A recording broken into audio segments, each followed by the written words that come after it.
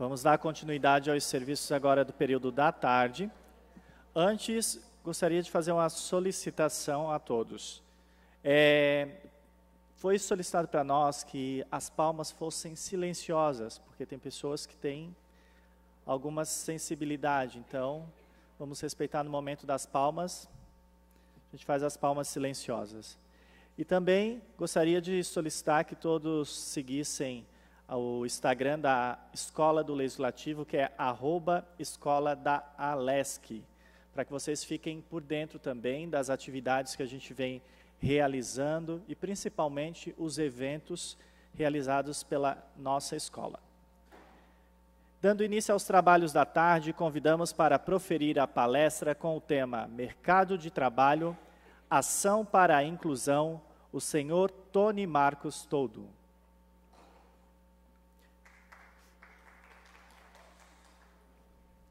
Tony Marcos é graduado em Química pelo Centro Universitário Fundação Santo André e MBI em Gestão de Pessoas pela Universidade Anhanguera de São Paulo. Tony, não, Tony se destaca apenas, não se destaca apenas por sua competência no setor automotivo, mas também por seu comprometimento e atuação em prol da inclusão de pessoas com deficiência em cargos de liderança na estrutura da General Motors do Brasil. Como líder local e membro do time da América do Sul de inclusão de pessoas com deficiência, Tony tem desempenhado um papel crucial na implementação de políticas e práticas que promovem a diversidade e equidade.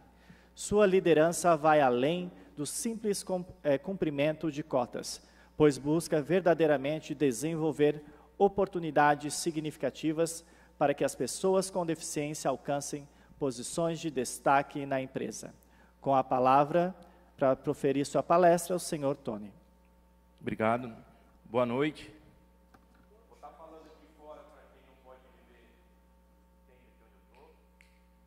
É, bom, eu sou uma pessoa gordinha, né? Diferente todo mundo falou que é gordo, sou gordinho. É, sou homem branco, tenho cabelo curto, castanho, barba por fazer, estou com uma camisa azul e cinza e uma calça jeans. E vou falar para vocês, estou bem nervoso de estar aqui hoje. Então me perdoem aqui, né? Eu vou ficar andando para lá e para cá. É... E eu vou explicar o porquê, porque para mim começar isso aqui eu tenho que falar por que eu cheguei até aqui. E para vocês entenderem o nível do meu nervosismo, é... eu sou um vocalista de uma banda de punk rock cristão que toca em bares. Então não é gospel, tá? Já nada contra, mas não é. Mas eu to... então eu não tenho medo de público. É, eu tenho uma facilidade para falar. Só que eu estou num lugar que é muito incômodo, mas muito necessário. Porque quando a gente fala de inclusão de pessoas com deficiências sem estar tá na, na pele, sem sentir o que é, então a gente já ouviu aqui, né? E eu aprendi isso já é, não falem de nós sem nós. Então, eu tenho esse lugar que eu não tenho nenhuma deficiência diagnosticada ainda, porque eu ainda vou passar pelo processo de, de diagnóstico. Tenho, quero fazer, né? Minha terapeuta falou, vai, que pode ter, que você tem alguma coisa aí que você precisa descobrir. E por outro lado, eu tenho as pessoas que não concordam com a inclusão. A gente sabe que são muitas, né? E que me batem do outro lado. Então eu fico no meio aqui, meio achatado. Mas isso não tira a minha vontade de estar aqui, a minha vontade de estar lutando é, por essa causa e de estar desenvolvendo ferramentas para que a gente possa chegar num lugar melhor. E é importante a gente entender isso.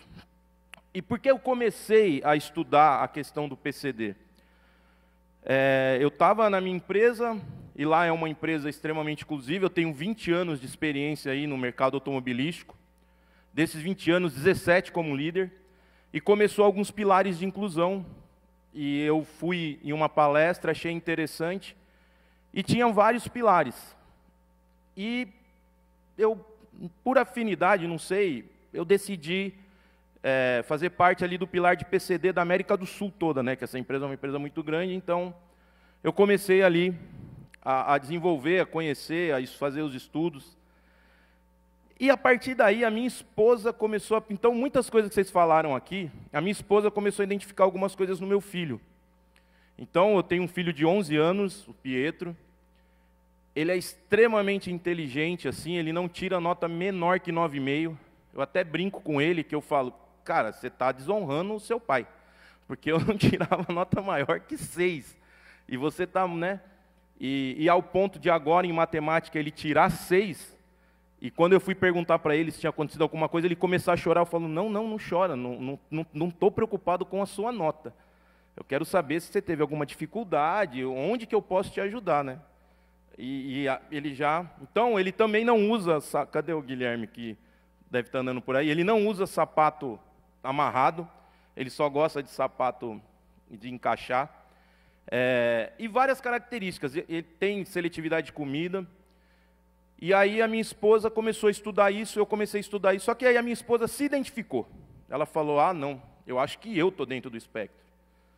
Eu resumindo, a gente decidiu que a família toda vai fazer o diagnóstico. E a primeira foi minha esposa, porque ela realmente tem, tinha um grande sofrimento. E ela foi diagnosticada com altas habilidades de superdotação e com alguns traços de TEA, mas não ao ponto de ser diagnosticada. E agora o próximo é meu filho, mas como foi dito aqui, a gente sabe que é muito caro. Então nós somos em quatro, vocês imaginem, né? A gente tem que fazer uma poupança, mandar um, faz uma poupança, manda. Eu sou o último, eu falei, não tem problema.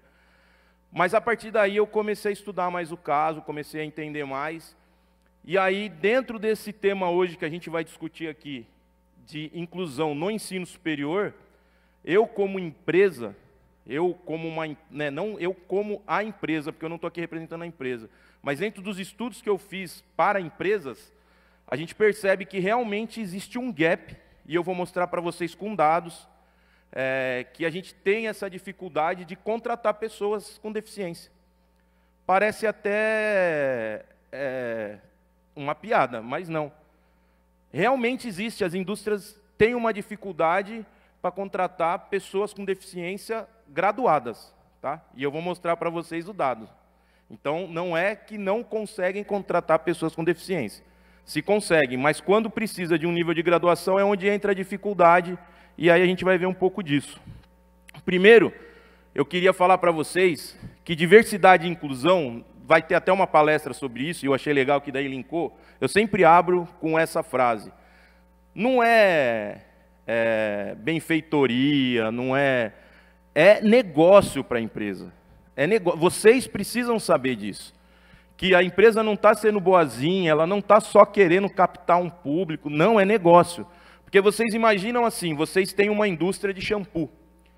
E nessa indústria você contrata só loiro do cabelo liso. Eles vão fazer shampoo para a pessoa loira do cabelo liso. E eles vão pegar aquele mercado. Mas aí existem as pessoas do cabelo crespo. A pessoa loira do cabelo liso não vai saber fazer um shampoo para a pessoa do cabelo crespo. Então a gente precisa de diversidade na indústria, porque todo mundo aqui é consumidor. Todo mundo aqui compra. E eu vou dar um exemplo aí sim da empresa que eu trabalho. A gente tem lá uma, uma ferramenta que chama Lab. Se você compra um carro e você é um deficiente, você na concessionária liga para, para, um, para um telefone lá que essa pessoa atende e você fala qual, o que, que você precisa. Ah, eu não tenho o meu braço direito, ou que nem um caso muito clássico, eu tenho nanismo e eu não consigo fechar a mala do carro. E aí eles desenvolvem um dispositivo para você comprar ali, exclusivo para você. Então precisa se ouvir essas pessoas. Teve um outro caso que uma, uma pessoa queria fazer é, uns adesivos com Ó, me desculpem também as nomenclaturas, às vezes eu esqueço, tá? É, leitura de cego é brau, braille, desculpa. Leitura em braille.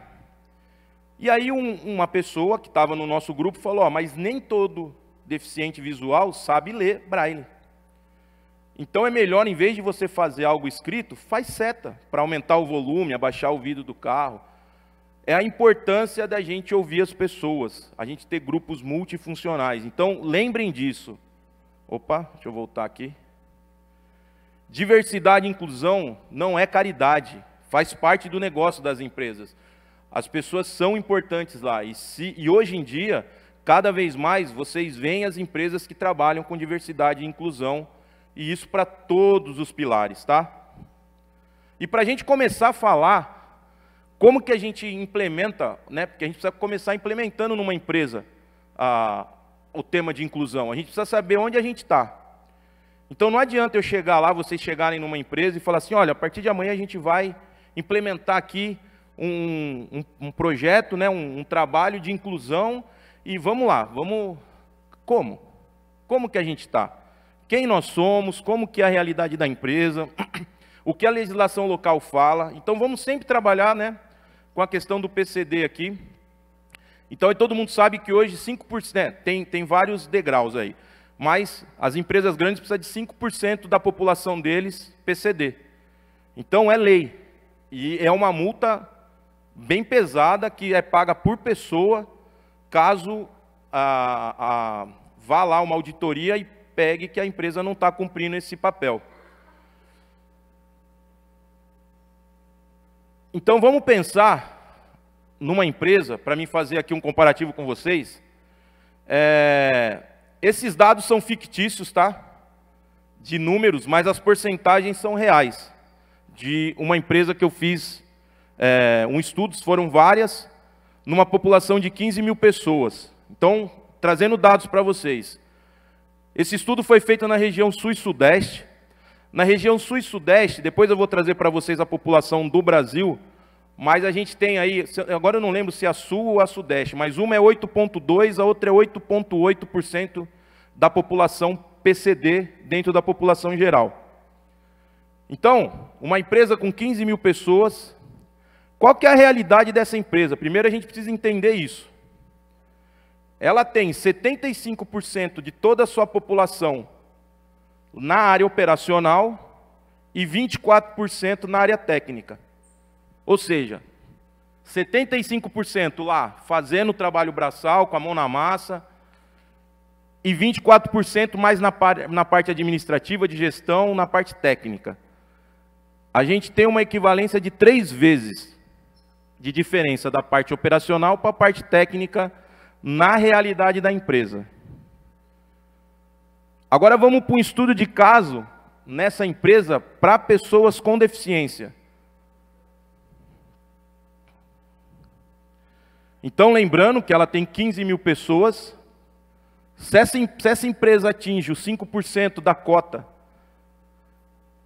ela vai ter 750 pessoas ali, Aí aqui, porcentagem real, tá pessoal? Que é onde chamou a atenção para mim levantar esse estudo e fazer esse entendimento.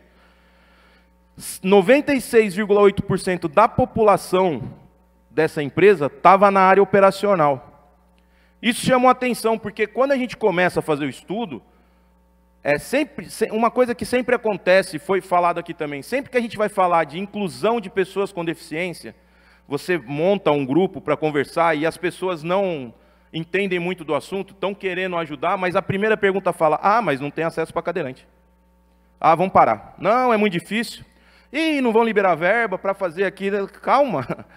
É, e toda reunião que eu começo com esses grupos hoje, eu falo, ó, a gente está aqui, vamos montar um grupo de inclusão.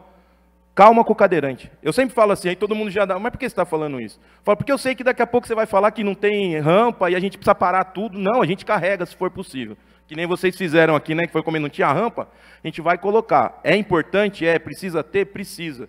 Mas vamos entender a nossa realidade. Opa, passou aqui, vocês já estão com spoiler. Então, ficou, para a gente ficou muito, a gente ficou pensativo, porque a gente falou, pô, a gente pensou que as pessoas com deficiência tivessem maior número na parte administrativa, escritório, né, e tudo mais, por essa questão de sempre a gente pensar nas pessoas que não, vamos dizer assim, o capacitismo. Ah, elas não seriam capazes de estar ali na, na parte operacional. E a gente provou que não é isso. Só que a parte também que precisa, precisaria de um diploma, de uma graduação, estava muito baixa. Só 3% da população. E aí a gente percebeu que com a realidade da empresa, que a população operacional, é, é, muito número, hein, gente? Vocês vão, vocês vai pegando os números aí. A população operacional para a população técnica era de três vezes a diferença, pulou para 30. Quando a, a população é PCD. Isso chamou a nossa atenção, é muita diferença. E aí a gente tomou uma ação. Não estão contratando o PCD. Por quê? Está errado isso aí, vamos atrás. Fizemos um questionário para toda a liderança. Várias perguntas. E duas a gente separou para o no grupo de discussão. A primeira, você contrataria uma pessoa com deficiência? 97%, 98%, sim. Contrataria. A sua área, ela é apta para uma pessoa com deficiência? Ficou meio dividido porque a pessoa não sabia responder ali. E aí a última, por que você não contrata uma pessoa com deficiência? E aí veio a resposta que levou a gente para esse estudo. Não chega profissionais para nós. Eu falei, não, não pode ser. Eu falei, isso não, não, não existe. Aí eu fui atrás do grupo de talent da América do Sul a mesma resposta. Não, a gente não recebe currículo. Eu falei, mas não pode ser. Aí eu abri uma vaga de 100 currículos, zero PCD. Eu falei, é uma realidade. E aí eu fui começar a entender o que estava acontecendo, porque como empresa, eu encontrei um, um bloqueio. Então eu precisava entender. E a minha primeira dificuldade foi: as universidades não abrem as portas para a gente conversar. Pelo menos as que eu fui. Então, por favor, aí, vocês de universidade, ajuda o gordinho, me dá umas informações aí, não é muito que eu peço, para a gente colocar e, acrescentar no estudo. É, a gente percebeu que a gente ia perguntar, não. E eu também fui em colégios técnicos, né? E o colégio técnico que eu fui, é, eu perguntei, vocês têm mapeamento de PCD para me entender onde, o que, que eu preciso, né? Preparar a empresa para estar. Tá, a gente tá, é, eu sei que eles estão aí, eu sei que eu tenho, eles estão identificados. Mas você não mapeou, não tem um, né, pra, pra, não, não tem. Vamos providenciar. Que bom, mas a gente começa a perceber que realmente tem uma dificuldade. E aí eu fui um pouco mais a fundo. Esse estudo é de 2022, tá? Queria deixar claro, pode ser que mudou muito, tanto os primeiros números quanto agora, pode ser que mudou, mas é, eu não senti mudar ainda na prática. A gente está lá vendo tudo acontecer e não, tá, não, não mudou. Então eu fiz uma correlação com a população do Brasil, que em 2022 era 203 milhões, sendo que 18 milhões, ponto 6 eram pessoas com deficiência, 9,1%. Se a gente for falar de justiça, tudo na equivalência tem que ser 9,1%, vocês concordam? Se a população PCD é 9,1%, a lei de inclusão devia ser 9,1%. Só que a gente sabe que tem algumas pessoas, como a gente já ouviu aqui, que às vezes não podem sair de casa, não têm a condição de trabalhar. Então decidiu-se no 5%. E vamos depois trabalhar só no 5%. Aí eu fui ver quantos universitários tem no Brasil em 2022. 9 milhões e 444 mil. Então vamos lá? De 203 milhões, 4,6% da população brasileira estava na universidade. Aí, se a gente fosse fazer essa correlação aqui, de 9,1, desses 4,6 aqui, 9,1 devia ser PCD. Mas a gente é bonzinho, a gente foi no 5%, né? Que é o 5% que o governo deu para a gente lá, e tudo bem. Só que a realidade é que desses 4,6%, nenhum por cento dos estudantes universitários hoje são PCDs. Identificados ali, né, que se identificam, e depois eu vou falar para vocês uma outra realidade que eu descobri nesses estudos. Se a gente fizer uma correlação, e aí eu, eu esqueço a população brasileira, porque na população brasileira a gente está falando de 203 milhões, 4,6 são universitários. Então vamos só no PCD teoricamente, da população de 18 milhões, 4% ali tinha que ser universitário. Só que na verdade é 0,4% da população PCD hoje está na universidade. Aí eu volto nesses. Opa, cadê? Aí, tá aqui. Vocês lembram que na primeiro, no primeiro slide que eu mostrei, era três vezes aqui. aqui é 30, ou seja, 10 vezes mais de diferença entre uma pessoa na operação, lembra, trabalhando lá, a uma pessoa num cargo que precisa de uma graduação. Quando a gente vem, opa, opa, aqui, a gente vê que é 10 vezes mais também ali. Então esse número 10 está me perseguindo e eu preciso, quando eu descobrir, eu prometo que eu compartilho com vocês. Mas é um número que tem perseguido essa pesquisa e tem me deixado bem, bem pensativo nele. Mas isso ainda piora um pouco. E eu vou trazer um dado para vocês, eu, eu, vou falar que eu, eu busquei em várias fontes, que aqui eu busquei IBGE, Ministério da Educação, essa última aqui eu não consegui encontrar. Mas o que fala aqui é que em 2022, desses 79 mil alunos que estavam matriculados PCDs, só 5 mil se formaram. Ou seja, daquele 1% da população aqui, ó, que a gente fala, da população universitária, tá? Só 6,3% 6,3% se formou. O mercado está sedento.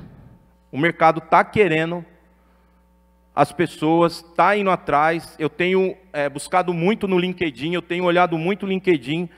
É, bastante empresa trabalhando com a, com a comunicação de inclusão, mostrando, ó, nós somos inclusivos.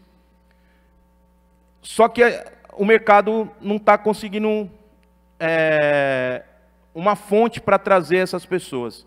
E aí venho aqui falar com vocês que são reitores de universidade, professores e tudo mais.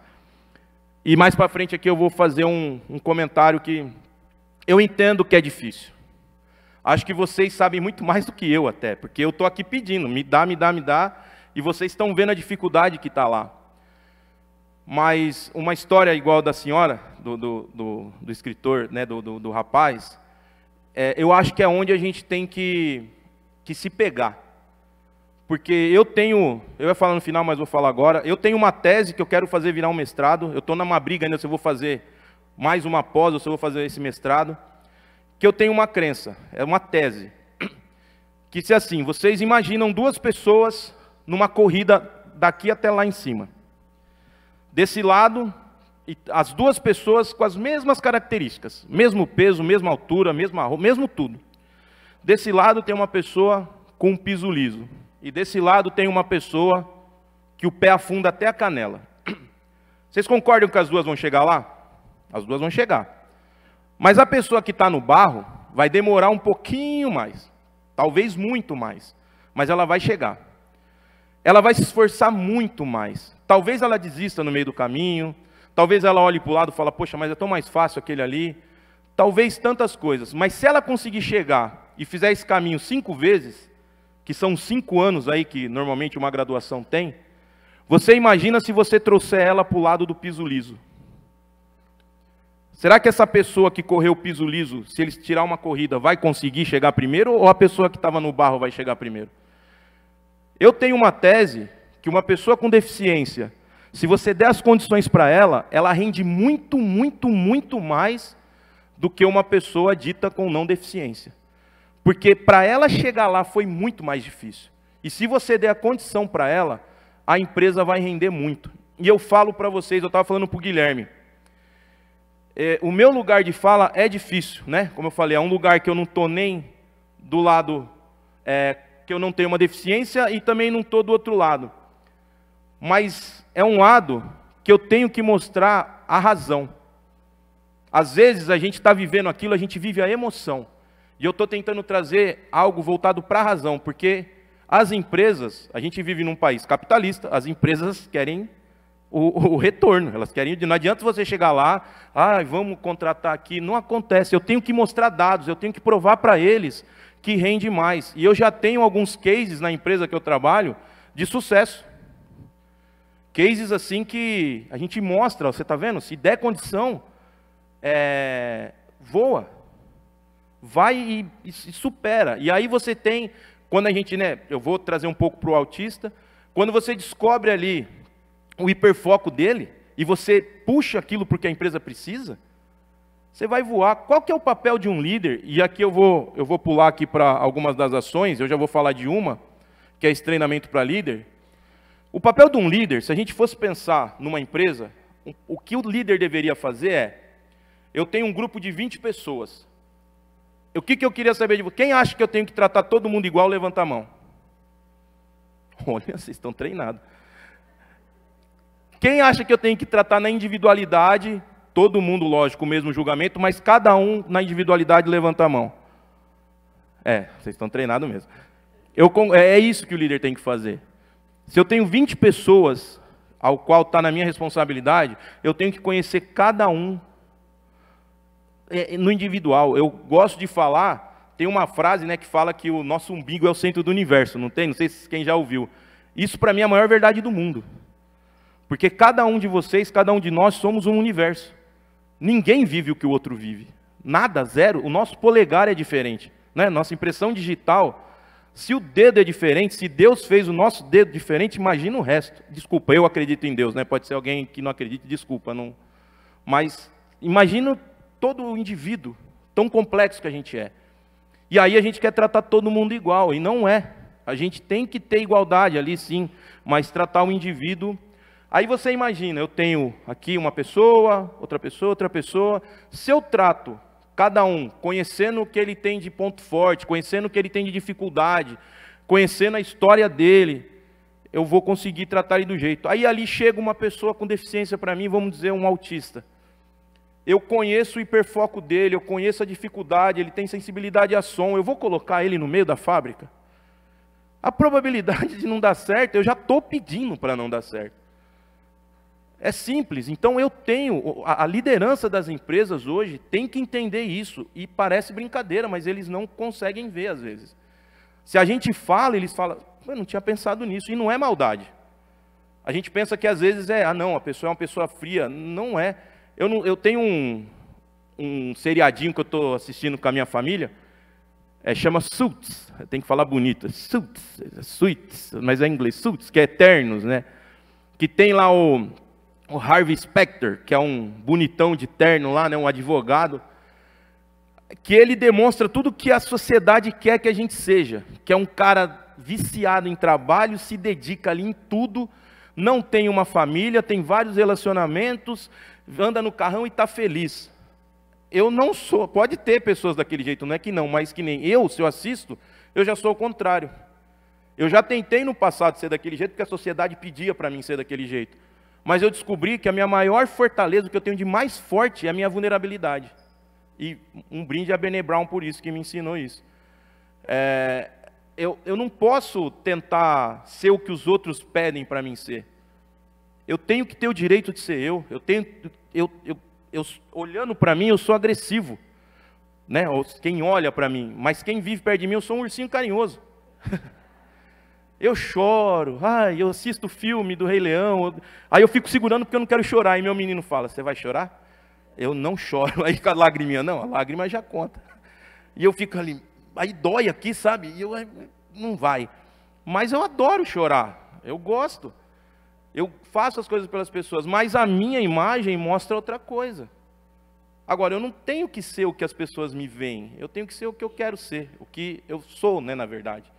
Bom, Aí eu, eu, dentro desse estudo todo que a gente mostrou, a gente viu que tem um gap e voltando, tá? Eu estou falando de um pilar, a gente tem vários pilares que a gente pode trabalhar, né?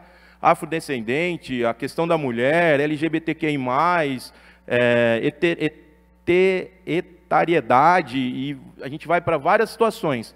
Mas a gente está falando exclusivo aqui da pessoa com deficiência e a questão do curso superior, tá?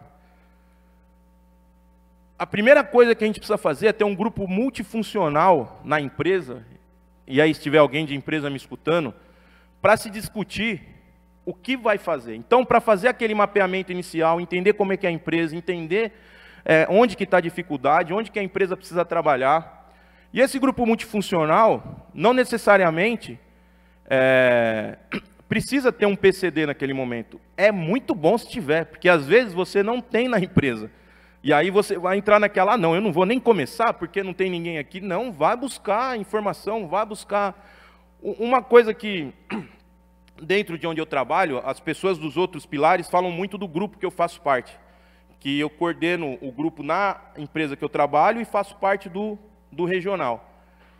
E aí eles ficam, mas o que vocês fazem de diferente? Tem uma diferença que faz todo sentido que eu vi aqui em vários de vocês. E eu já percebi isso. Se eu preparar um carro para mim, para o Tony, eu vou querer botar um turbo, eu vou querer colocar ele rebaixado, eu vou fazer um, um auê no carro para mim sair.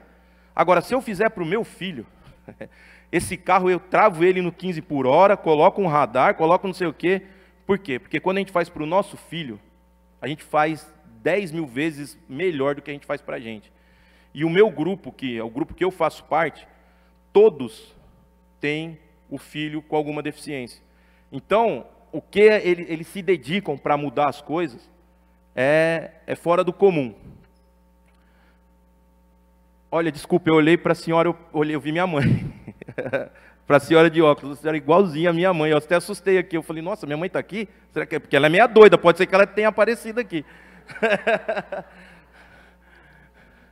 então, montar um grupo multifuncional. Segundo, matriz de flexibilidade de atividades. Para você já travar os líderes, você já monta uma matriz de flexibilidade onde você fala assim, olha, nessa, você vai ter lá o ergonomista, o departamento médico, todo mundo, ó, nessa função aqui pode ter todas essas deficiências aqui, porque qual que é a dificuldade de trabalhar com a, a população PCD? O leque é gigante, né? A gente sabe que tem várias situações, e você, volta a dizer, temos que trabalhar o indivíduo. E aí o que eu falei para vocês, uma pesquisa destinada aos líderes da empresa, o que, que vocês acham, o que, que para vocês é importante, é, que nem eu, a gente fez uma reunião que eu falei para as pessoas, ó, oh, vocês estão numa, num ambiente psicologicamente seguro, qual que é a dificuldade? E um cara levantou e falou, eu tenho medo. E é importante ouvir isso. Eu falei, medo, eu não sei tratar, eu não sei o que fazer. E se ele tem uma crise do meu lado? E se eu falei, é, é para isso que a gente está aqui. Eu falei, aí você me liga, eu venho e a gente resolve. Então tem, mas e, ah, pô, o cara está errado. Não, a gente tem que ouvir eles. Ó, vocês vão ver aqui ó, no final, isso aqui é importantíssimo. A gente tem que ouvir qual que é seu medo, vamos, vamos entender, vamos diferenciar. Teve um que o rapaz ele, ele é deficiente auditivo e ele estava dando uma palestra. E ele escrevia, né? E aí chegou no final, uma pessoa falou: Eu não sei, eu, eu sempre quis falar com ele, mas eu tenho medo de chegar nele e não conseguir conversar. E aí ele respondeu: Não, eu tenho um celular com aplicativo, pode chegar. E hoje a empresa também que eu trabalho, ela tem um, uma ferramenta que quando você precisa falar com um deficiente auditivo, você aciona eles lá, um aplicativo, e aparece um, um tradutor na hora para você ali no celular, e você consegue se comunicar com a pessoa. Então, bem legal também. Treinamento para líderes, então isso que eu conversei com vocês aqui, vai lá, pergunta quais são os medos, o porquê, as dificuldades, aonde que está o conhecimento e, e vai te tentando tirar dúvidas para eles. Isso aqui é super importante. Workshops e, e palestras para mudança cultural dos funcionários. Um ponto que eu percebi, eu não sei se vocês percebem isso na, nas escolas, nas universidades. Se a pessoa tem uma, uma deficiência visível, ela é super aceita. As pessoas ajudam, vão lá, né, fazem o possível, entendem, vamos ajudar, vamos mudar, a gente tira, faz o que for. Quando é invisível, ah, que frescura, mas por que ele é assim? Mas por que ele tem que usar fone? Mas, ih, mas o cara trabalha sozinho. Ah, ele não vai no churrasco com a gente? Ah, é muita frescura. A gente tem que mostrar para eles que não. É uma condição. E aí é importante o conhecimento, porque daí quando você começa a explicar, explicar, explicar, explicar, repete as mesmas coisas várias vezes, as pessoas vão entendendo. A mentoria para PCD, uma coisa que surgiu também que foi muito bem é, aceita é assim: a gente tem uma população PCD mais no operacional. Trabalhar com mentoria de carreira com eles. Quem gostaria abrir, né, não é seletivamente, mas você abre programas exclusivamente para pessoas com deficiência, para você fazer plano de carreira, conseguir bolsa em universidade, fazer um acompanhamento, o que, que ele precisa. A empresa pode fazer isso. Ela consegue ajudar dessa forma. Visita e contatos com empresas referências. Então, eu visitei algumas empresas, foi interessante. E uma empresa que eu visitei foi, foi a importância de você estudar, né? A empresa antes de você fazer qualquer ação. Eu fui numa empresa que a pessoa chegou para mim e falou assim: olha, a gente tem aqui né, o trabalho de inclusão, tal, 68% da nossa população é mulher. Eu falei, poxa, diferente. O que, que você fez? Não, nada. A operação é, é normalmente as mulheres né, se adaptam melhor. Falei, ah, então não é um trabalho de inclusão. A operação é, ela já já traz. É. Ah, então, então não, nesse momento não, não é o que eu estou procurando. Estou procurando ações que me ajudem mas eles tinham várias outras ações que eu copiei também e é interessante. Esse daqui eu acho que tem muito a ver com vocês, parceria com instituições de educação. Eu vou falar, o negócio não foi fácil. A gente conversava, buscava, tentava a conversa, as pessoas não, a gente não, não queria é, saber o que estava acontecendo lá. Na verdade, a gente queria entender se esses números que eu estou aqui são reais. É, é, isso mesmo? Não, é isso mesmo. Eu não vou te julgar por isso. A gente precisa entender como que a gente vai ajudar. E, e vocês têm várias respostas aqui. Tá, cada palestra, cada relato que foi falando aqui, a gente percebe isso. Só que a empresa precisa se se aproximar das instituições. E o contrário também é verdade. Façam isso. Montem um, o grupo que vocês têm ali de de inclusão, vai bater em umas empresas, fala, como é que vocês estão na questão do PCD? O que, que vocês estão precisando de ajuda? Porque eu fui numa instituição que estava precisando ali de, pelo menos eu dar um direcionamento para conseguir é, atender o que a gente estava precisando. E a partir daí você monta um banco de talentos. Porque o que, que acontece? É, as grandes empresas hoje, antigamente tinha muitos QI, né? O que indica. Não, põe o meu filho aqui. Graças a Deus isso acabou. Bom, pelo menos aonde eu enxergo, né? É, é desculpa, é, não fui tão feliz no comentário.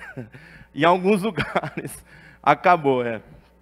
E, e tem todo um, um, processo de contratação. Então, quando é, a vaga vai para uma pessoa de recrutamento, se ela já tem ali um banco de talentos, ela já direciona para o gestor. Porque hoje, o que está que, o que que tá acontecendo? A pessoa do, do, do de recrutamento chega para o gestor e eu falo porque eu sou um, ó, contratar um PCD, hein? Falei, contrato, é, não tem problema. Eu, cadê? Me traz. Eu preciso. É, hoje, é, eu, a, as empresas, quando vocês veem, veem a vaga ali, tem algumas, tem algumas descrições que são. Ela precisa daquela. saber fazer aquilo. Mas, numa questão de inclusão, abre-se mão, ó, tudo bem. Então, aqui, isso aqui a gente consegue ensinar, mas que nem diploma. Vai, vamos falar aqui, você precisa de um engenheiro, você precisa de um engenheiro, ele precisa do CREA. Se ele não for engenheiro, você não consegue contratar. Então tem algumas situações, vai, na área de enfermagem, como é que você faz se a pessoa não tiver o, o, o registro? Não, não trabalha. Então a gente precisa disso. A gente precisa que. É, e assim, o que puder ajudar também, no final vai estar meu telefone, eu, a gente está aí para ajudar, porque no, no final de tudo isso, a gente está todo mundo aqui pela mesma causa e pelo mesmo lado. E por último, é o mais difícil, e é aqui que eu falo que entra o meu lugar de fala. Aqui eu sou importante. Aqui eu consigo, que é o quê? É você chegar do lado da pessoa e falar assim: que palhaçada esse negócio de inclusão, né? Está contratando a pessoa só porque é mulher.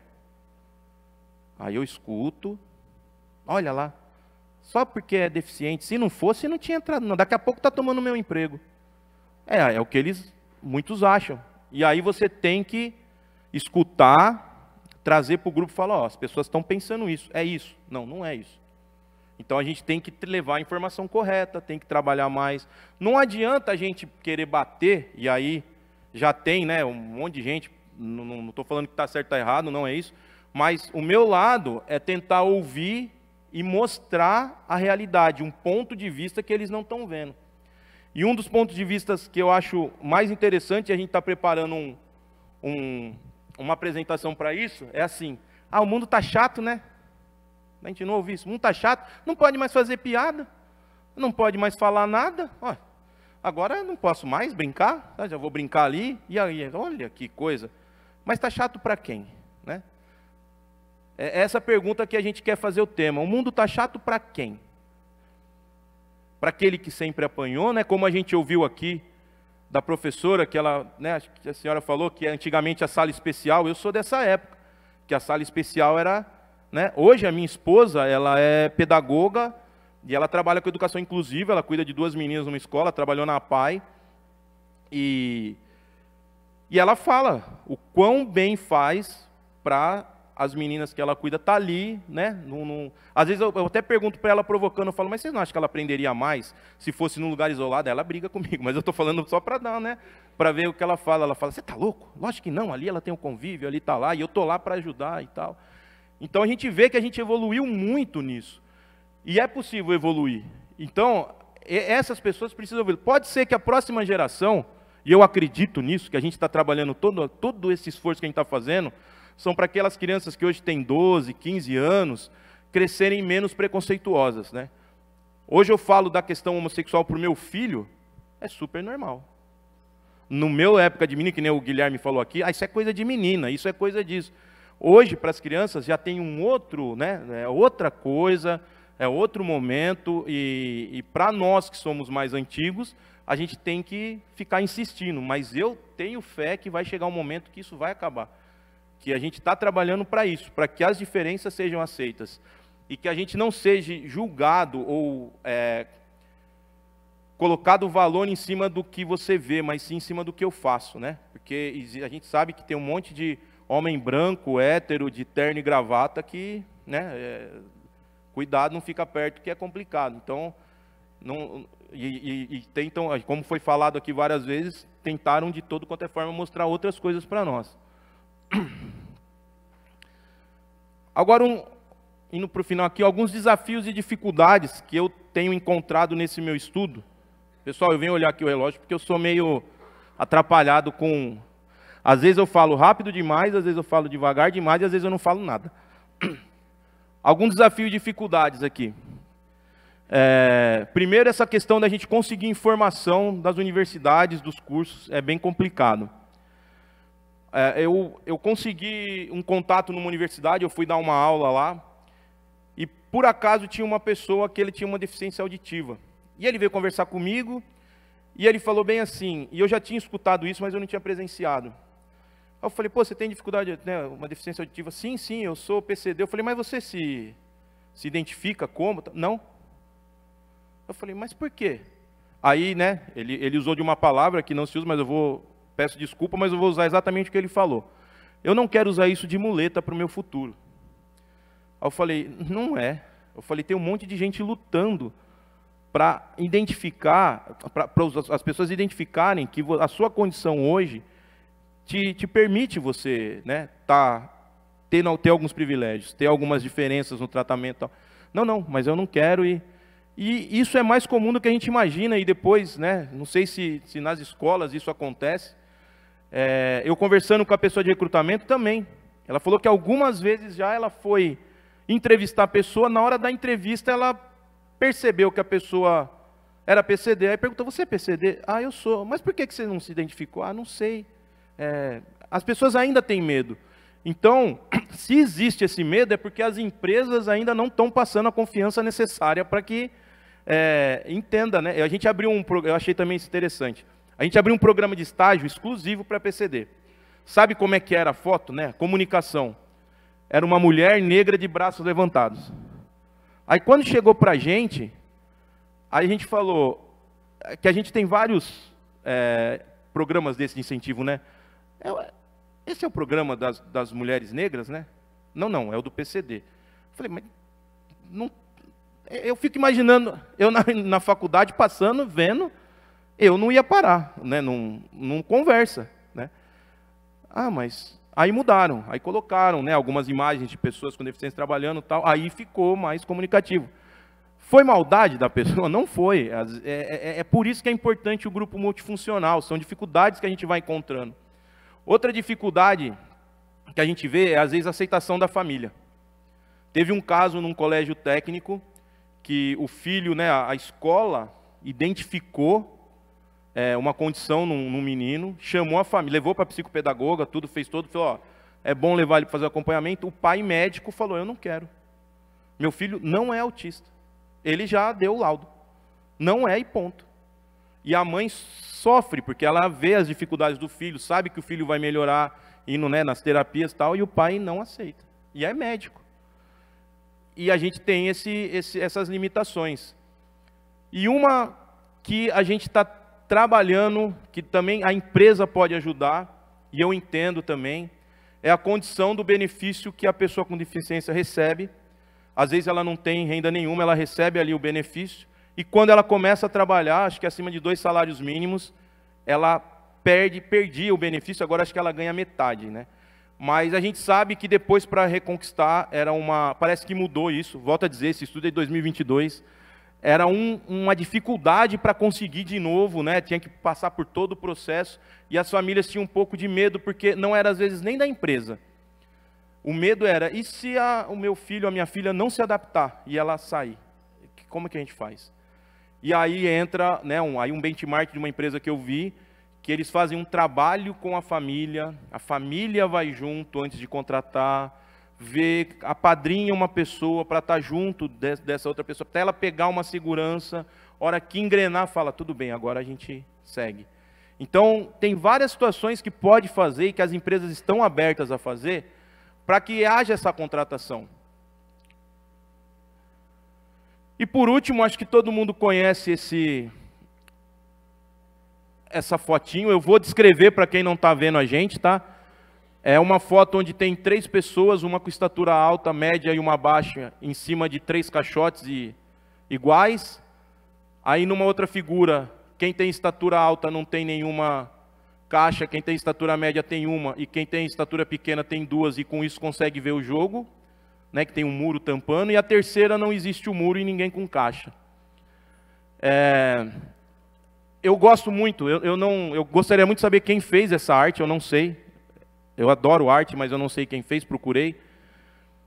A gente sabe que a igualdade não funciona, a gente já falou aqui, né? A gente precisa tratar o indivíduo. A gente está nesse momento aqui, buscando equidade, dando ferramentas, né? Para que a gente consiga dar situação para o nosso amigo que escreve sobre esporte lá poder pelo menos ver o jogo e aí fazer a ótima matéria dele. Mas a gente não pode, e aí essa frase ela é forte, mas é verdadeira, a gente não pode se contentar com migalhas. Porque para mim isso aqui é uma luta gigantesca para a gente conseguir, mas ainda é migalha no pé da mesa. A gente precisa ter liberdade. Onde cada um é o que é e que todos deem condição para a gente ser o que somos. Nós né, podermos ser do jeito que somos e conseguir assistir o jogo, conseguir ter cidadania, conseguir viver, conseguir emprego, sem que precise ficar é, implorando por adaptação, implorando por um projeto, implorando por isso. Não. A hora que você for lá procurar um emprego, você vai estar tá lá, ninguém vai nem perguntar mais se você é PCD. Porque é, se você tiver nanismo, se você tiver deficiência visual, se você tiver deficiência auditiva, for um TEA, você só vai na hora ela fala, olha, eu preciso disso, e ali na empresa ela vai te dando, ou na escola, ou na universidade. A hora que a gente chegar nisso aqui, ó, esse tem que ser o nosso alvo.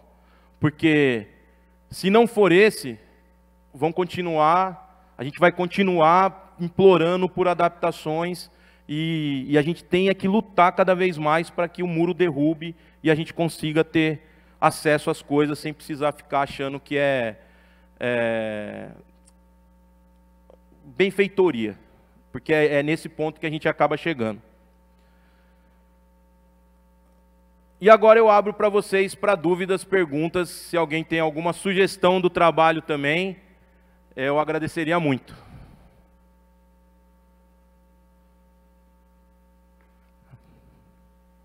E desculpa, eu falo alto também para quem está com problema sensorial. Alô. Não, não é nenhuma dúvida. Na verdade, é um agradecimento, porque é, é claro, é, a gente consegue perceber que o Tony é uma, um aliado interessado em trazer qualidade de vida para gente que é pessoa com deficiência. Então, acho que quando a gente vê isso, uma pessoa assim com essa vontade, a gente precisa reconhecer e agradecer. Essa é a minha contribuição. Obrigado. Queria contribuir também, já dizer que Nos próximos eventos que a gente falar sobre o mercado de trabalho, eu vou te trazer, tá, Tony? Muito bom. Conta comigo. A fala simples, objetiva e direta. E contribuindo também com a questão, né, aqui para Santa Catarina, a gente tem muitas dificuldades e uma das questões que principalmente o deputado Vicente discute muito e sempre é questionado, o que, que a gente tem feito pela inclusão no mercado de trabalho, né? Embora a gente tenha muitas instituições aqui é, em Santa Catarina, como a Paz, que acabam fazendo um trabalho de inclusão no mercado de trabalho, mas é aquela questão que tu colocou no início. São, na maioria, são pessoas com deficiência que não chegaram nem no nível superior, né? E eu já ouvi relatos de pessoas do nível superior que não conseguem emprego, né? Por, por conta da dificuldade que as empresas têm na questão da contratação e de como saber contratar. Quando tu estavas apresentando algumas estratégias, eu lembrei de uma seleção de emprego que eu passei numa empresa aqui, na qual eu, como assistente social, tinha que criar uma plataforma, um programa de como incluir as pessoas com deficiência na empresa. Né? Eu fiquei pensando, é uma empresa, é a Cronos, ela trabalha com vigilância, limpeza, uma, meu Deus, é muito amplo. E aí, quando você trabalha com, a, com, a, com pessoas com deficiência, no, é, está ligado ao movimento, é, você vem, defende, levanta a bandeira, mas quando muitas vezes você vai colocar em prática, é difícil você pensar em estratégias, né? A gente coloca mais ou menos um sucinto assim, algo apresenta, e, e eu fiquei pensando em como colocar muitas das minhas ideias, né? E quando a gente apresenta ideias inovadoras, as empresas não aceitam. Por quê? Porque é investimento. E uma das coisas que eu já falei muitas vezes com o deputado foi isso. O porquê que não estão contratando pessoas com deficiência? Porque é investimento. Né? Ninguém quer mudar, ninguém quer. É, é, a gente tem uma, uma amiga do Ministério do Trabalho, que é a doutora Luciana, uma defensora aqui no Estado da inclusão no mercado de trabalho, e ela já colocou isso também, da dificuldade e da é, que muitas empresas boicotam a questão das ações afirmativas para, tipo, chega numa tal instituição, eu pago para que o aluno continue ali, mas que a gente tenha contabilizado na nossa cota como uma pessoa na empresa, né? Então acaba acontecendo isso também, essas trocas de favores, que é inaceitável, a gente tem que estar, assim, é, apresentando, denunciando, e é um sonho, como tu colocou ali, o derrubar barreiras, de um dia a gente não precisar mais das ações afirmativas, né? E de fato todo mundo concorrer a uma vaga de empresa é, equitativamente, né? E, e, eu acho que a tua fala ela vem contribuir, tá? Estava é, comentando aqui com o meu colega da Escola do Legislativo, como seria bom, porque a gente tem na Assembleia um grupo de inclusão de estagiários que estão no ensino superior, que é o Alesc Inclusiva. Inclusive, a gente já recebeu prêmios. E eu gostaria que hoje eles estivessem aqui. E já deixo aqui registrado, porque é importante. Se eles estão lá na universidade, se são pessoas com deficiência que estão aqui na Assembleia Legislativa, esse setor, mais do que ninguém, deveria estar presente hoje aqui, ouvindo todas essas palestras. Porque a inclusão tem que começar a partir daqui, desses espaços. E uma, e uma das discussões que eu já tive também com a casa, foi que eu faço parte dessa comissão, é que a gente precisa incluí-los onde de fato eles estão sendo preparados para o mercado de trabalho. Se está fazendo jornalismo, por que não na TVAL? Se está fazendo na parte administrativa, administrativo da casa, é a área da saúde? Na área da saúde. Porque antes era onde dá. Né? Então a gente tem que começar a mudar também a, dentro de casa para que a sociedade possa ver essa tal de inclusão que a gente tanto fala, que ainda para mim é uma questão utópica, né? a gente está num processo, que ela de fato se faça presente. Muito obrigado pela tua contribuição. Não, concordo com, com a sua fala é, e, e vou, vou até um pouco além. É, eu acho que as instituições públicas elas podem ajudar montando realmente esses grupos. É, eu estou para conversar na cidade onde eu estou, de Indaiatuba, que eu também sou, eu sou várias coisas. eu, eu sou coordenador do grupo de voluntariado da empresa onde eu trabalho, e eu tenho um acesso à secretária de, de, de assistente social lá. E eu tô para falar com ela, a gente precisa montar um, um, um trabalho onde você tem aqui, né, o, a, as instituições mandem, as pessoas com deficiências estejam aqui e as empresas venham, né, as empresas parceiras que queiram participar disso, estejam ali. E a partir daí você ganha um selo, sabe? Eu lembro que o, o Guilherme falou do, do, do, selo, era o selo Portinari que vocês estavam montando, não é? Não sei se montou ou não mas que isso gere um, um, uma visualização para a empresa. Olha, essa empresa realmente é inclusiva. Não é só colocar lá no Instagram é, uma bandeira, o XY, não, mas olha, realmente aqui, ó, digital, que seja, estamos trabalhando para é, fazer a vida das pessoas melhor. Oi, Tony. Eu quero primeiramente parabenizá-lo pelo seu posicionamento. Né? Você é uma pessoa sem deficiência trabalha numa empresa privada e está do lado das pessoas com deficiência quando você está preocupado com a sua empregabilidade. Isso é fundamental, porque se a gente aqui está tratando de ensino superior, o ensino superior é o caminho para a empregabilidade, né? E isso é, é fundamental porque as pessoas vão precisar se manterem, uma vez que os pais acabam falecendo, e elas têm que ter um lugar ao sol no mercado de trabalho qualificado. Né? Passou o tempo que o cego vendia só vassoura e tocava violão na porta da igreja. Nós sabemos hoje que as pessoas com deficiência são capazes. E essa eu acho que é a, a grande questão, o capacitismo. Então, se você diz por que, que não dá certo e tal, porque ainda há um capacitismo, talvez até meio que inconsciente, do, das direções e dos RHs. Sabe? Eu, com a minha, a na minha experiência, no convívio com pessoas com deficiência, eu capto muito isso. Muitas vezes a alta cúpula quer, mas o RH não está preparado. E o RH tem medo de querer implantar um trabalho sobre o, pessoas que ele não conhece. E agora o que é que eu faço com a pessoa com deficiência visual, com o surdo? Então, o que eu ouço muito dos alunos é assim: olha, não deu certo o meu emprego, porque o que eles fizeram para mim, principalmente da área de deficiência visual, não foi uma adequação, foi uma gambiarra. Claro que daí não funcionou. Né? A questão dos surdos. Os surdos estudam, fazem cursos de graduação, de pós-graduação e permanecem na linha de produção pelo capacitismo. Né? Então, não, esse surdo não vai ter condições de assumir um cargo administrativo tão bom, ele não escuta, ele pode ficar lá que tem muito barulho. Aí lá ele não se incomoda com o barulho. O raciocínio é meio assim, né? o equívoco é muito grande.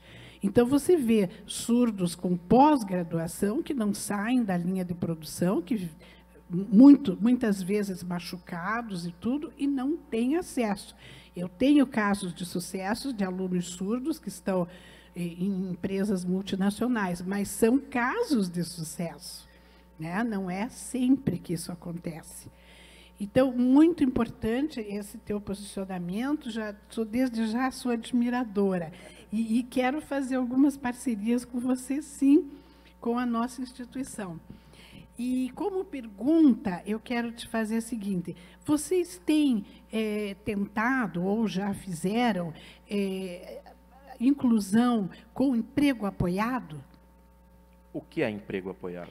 O emprego apoiado é uma forma de trabalho em que a pessoa com deficiência tem, vamos dizer, um acompanhante, um tutor durante um tempo, não eternamente. Isso, isso. Né? Sim, sim. Mas ela vai ter, principalmente em, em, com deficiências com maior comprometimento, em que ela não pode já ser colocada sozinha dentro da empresa.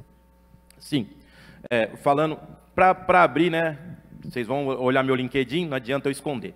Eu não estou aqui pela empresa, mas eu trabalho na General Motors, né, uma empresa automotiva, e lá tem uma população de deficiente auditivo gigantesca, né, muito grande mesmo. Eu já fui, você vê, em 2007 eu era coordenador e, e eu tinha duas pessoas que trabalhavam comigo, deficiente auditiva, e eram essa condição. E no caso, eu era o tutor delas. Então, é, parece coisa boba, mas tem alarme de incêndio. A gente tem as pessoas que cuida, que vai lá e vai chamar. Então, existem sim é, esse apadrinhamento que a gente chama no começo, quando chega, para estar tá ajudando, para dar essa segurança, né? Hoje já evoluiu muito né, na, na GM, muito, muito mesmo. A gente tem, é, e aí vai naquela questão da mentoria que eu te falei, a gente percebeu que sim, tem pessoas graduadas no, no chão de fábrica, mas são duas coisas diferentes aí, né? Na, na verdade são várias, mas eu vou citar duas. Uma é, é não é a questão da capacidade, é a vontade dele.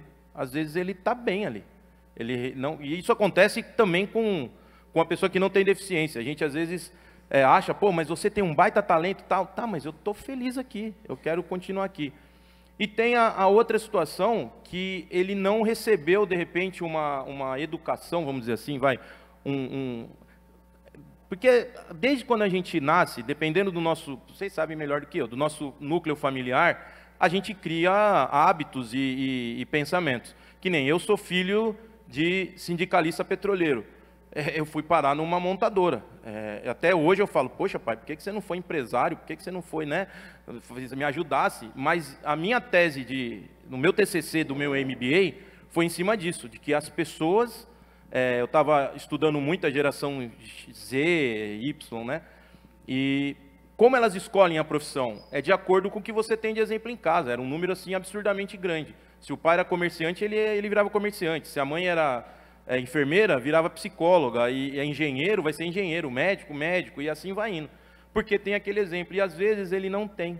Até por causa que a família, pô, já arrumou um emprego, tá bem, e, eu, e é onde eu entro ali na dificuldade da família. Então, essa questão da mentoria, é, a gente apresentou para o nosso comitê executivo, para o presidente da GM do Brasil, e ele falou: olha, de tudo que vocês me mostraram, a questão da mentoria tem que acontecer. Ele foi simples assim. E você vê que a empresa é tão inclusiva é, que eu, eu, achei engraçado que o presidente, né, ele falou assim, ele estava com a filha dele é, no, no, no, Dia das Mulheres, falou, oh, filha, feliz Dia das Mulheres, né? E ele conta isso para a gente. Ela falou assim, feliz Dia das Mulheres nada. Você é presidente de uma empresa, você faça alguma coisa lá para isso mudar. Porque não adianta você vir dar Feliz Dia das Mulheres aqui para mim e a sua empresa ser uma empresa que não trabalha com inclusão. Ele chegou lá e já no outro dia pediu para o RH levantar a questão das mulheres e já deu uma meta, falou, a gente precisa trabalhar para que o salário, né, ela estava falando da questão do salário, e já fazem três anos isso e já está chegando na, na, na equiparação que não tinha. Então a gente vê que quando vem de cima para baixo é muito mais fácil, realmente. Mas a gente tem vários, e não é o RH às vezes. Às vezes o RH, ele está ele tá querendo também, mas quando chega no gestor, que é quem vai conviver com a pessoa, ele tem um pouco de medo. Não é nem precon... é preconceito porque você não conhece, mas é, é importante é, a empresa trabalhar muito na cultura, porque senão todo o resto do trabalho não anda. Porque eu posso simplesmente chegar, uma coisa que a gente zela muito, e aí eu me baseei no Guilherme Bara, o Guilherme Bara, quando ele fala que ele, é, ele teve um emprego para trabalhar, não sei se todo mundo já viu o Guilherme Bara, né, ele tem um vídeo que ele fala que ele é um deficiente visual, ele fala que ele teve um emprego numa empresa de tinta onde ele tinha que escolher as cores da próxima é, temporada da empresa. E aí ele falou, isso que a gente espera. Ele não chegou para mim e falou, será que você consegue? Você é cego? Ele falou, olha, o seu trabalho é você vai escolher as cores, toma, se vira. Ó, oh, você vai ter que viajar, tal, tal. Aí se ele precisasse de ajuda, ele ia lá e pedia. Mas não que eu já vou falar, olha, eu não sei se você vai conseguir fazer isso porque você é cego. N não. A gente tem que se, eh, se libertar disso. E eu acho que não é o RH ainda. Tem os RHs, mas eu acho que ainda o RH ele está tentando, é, porque ele está sendo cobrado também, né? Ele está tentando fazer isso acontecer. A gente tem algumas barreiras um pouco mais embaixo. É, às vezes a gente acha que a gente está ma ma mais longe do que realmente a gente está. As barreiras eu acho que estão um pouco mais embaixo que a gente precisa trabalhar muito na cultura ainda. É, só concluindo aqui, é, a, diferença entre a mentoria ou o padrinho do emprego apoiado é que o emprego apoiado são especialistas nas áreas. Existe, inclusive, a Associação Brasileira de Emprego Apoiado, que foi presidida pelo saudoso Romeu Sasaki. Né? Ele era um grande professor a respeito de emprego apoiado. Então, talvez. Eu, vou- eu vou estudar sobre. Eu não, não, não- nunca tinha ouvido falar sobre. Aham. Eu vou estudar. é, eu pensei que era só um acompanhamento, mas o que você estava falando é um pouco. É, É, ele assume por um tempo né, a responsabilidade do, do resultado daquela pessoa. Mas muito obrigada pela atenção. Obrigado. Acho que tem mais uma mão, tem mais uma mão ali. Quanto tempo eu tenho? Na verdade, já encerrou. A última. É, eu A falei última, que eu tenho quem é que com primeiro? Ó, ele lá, ó, do cabelinho, tá, faz tempo ali, o rapaz. É? Então, ó, Ele tá com a mão levantada. Eu tô falando, ele não baixou a mão. depois, quem tiver perguntas que não É, responde me, agora, me procurem anota. também. que aí a gente vai ter, se eu não me engano, amanhã também um tempo mais livre, aí dá para responder, tá bom? Aí a gente chama os palestrantes para responderem. A Fundação Catarinense? É. Tá. Testando, é, beleza. Queria parabenizar o trabalho. Eu achei muito interessante os dados numéricos. Eu acho que representa muito bem a sociedade atual e o capacitismo. E tu trouxe muito bem. É, autista re- recém-diagnosticado aqui, com altas habilidades, que tem hiperfoco em igualdade, em equidade e liberdade. E a partir de tudo que eu já estudei, eu vejo que o modelo capitalista não vai alcançar nunca o modelo da liberdade. Então, por isso que ele continua sendo um tópico até esse modelo capitalista se perpetuar. E a pergunta que eu faço para ti, que eu achei interessante, tu, tu trouxe como os, o- os PCDs, nós PCDs, podemos alcançar espaços e traba- fazer trabalhos muito melhores do que pessoas neurotípicas, pessoas sem deficiência. Porém, eu faço a pergunta: as empresas estão preparadas para pagar a mesma coisa para uma pessoa que tem 20% de produtividade?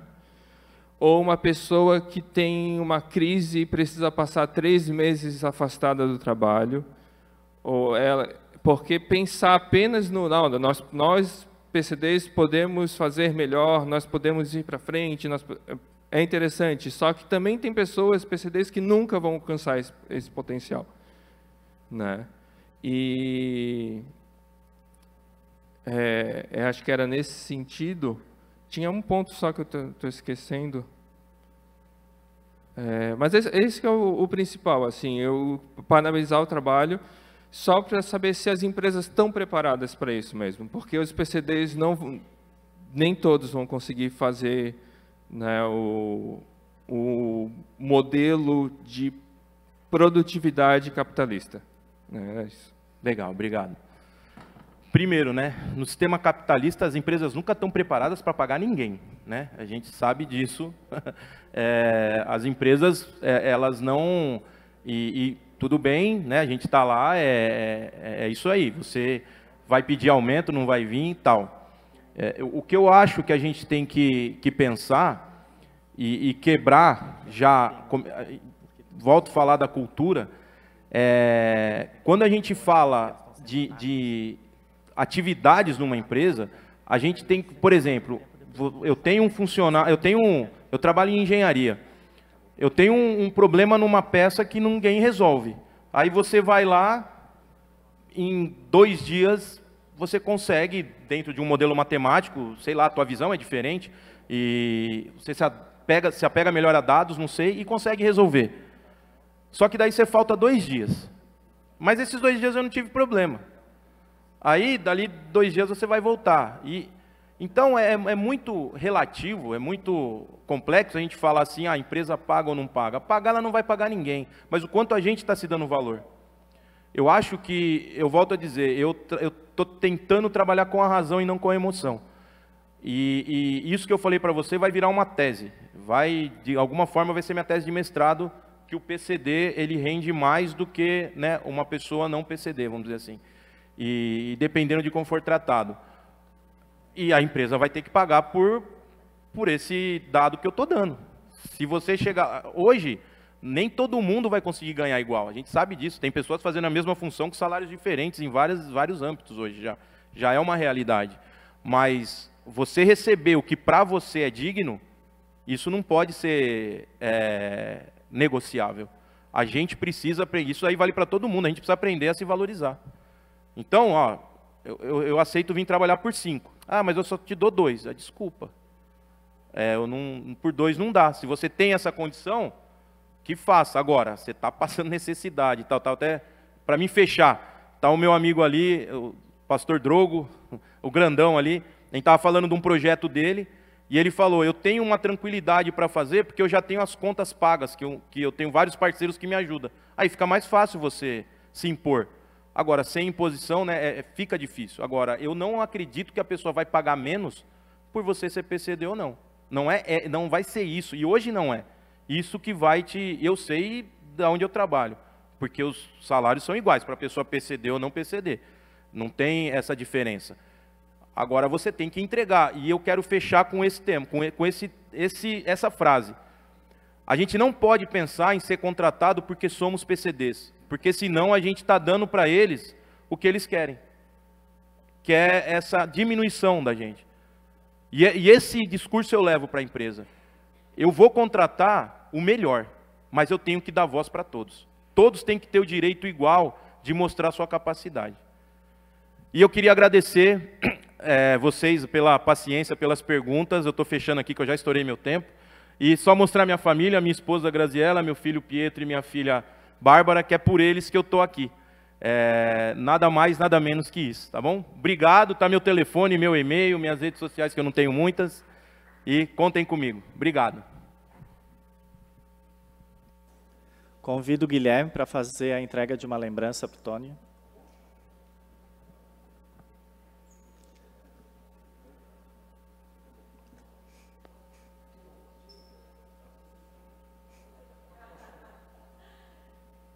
Vamos lá, equipe.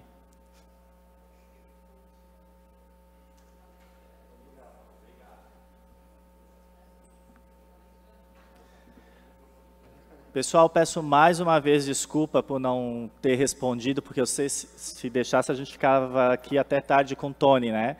Mas é que a gente tem, que, tem os horários para cumprir, né? de acordo com a casa também e com o evento. Mas assim, anotem as suas dúvidas, né, que vocês tiverem, coloque o nome do palestrante, porque a maioria, a grande parte dos palestrantes vão estar até amanhã no final com a gente do simpósio. E aí no final do simpósio a gente tem a entrega do selo para a UFSC. E aí a gente consegue fazer um, um, alguns minutos ali também para tirar dúvidas, conversa com todos os palestrantes. Pode ser? Fica melhor, tá? Mas a gente, é, dando tempo dos palestrantes, eles podem abrir para perguntas, mas aqueles que não forem, é, não conseguirem, aí deixem por escrito, tá bom? Dando continuidade ao simpósio, convidamos para proferir a palestra com o tema O Desenho Universal de Aprendizagem como Estratégia de uma Educação Inclusiva, o senhor Eládio Sebastian. Eládio Sebastião é graduado pela Escola de Magistério de Guadalajara, Espanha, em Ciências da Educação e mestre em Ciências da Educação pela Universidade Complutense de Madrid, Espanha, doutor em Educação pela Universidade de Alcalá, Espanha, e pós-doutor em Educação pela Universidade Estadual Paulista Júlio Mesquita, Filho de São Paulo. Professor doutor aposentado da Universidade de Alcalá, professor visitante estrangeiro da Universidade Federal do Mato Grosso do Sul e professor colaborador do programa de pós-graduação em educação da Universidade do Estado de São Paulo. É autor do artigo A Escola Inclusiva e Estratégias para Fazer Frente a Ela, as Adaptações Curriculares. Com a palavra, para proferir sua palestra, o senhor Eládio.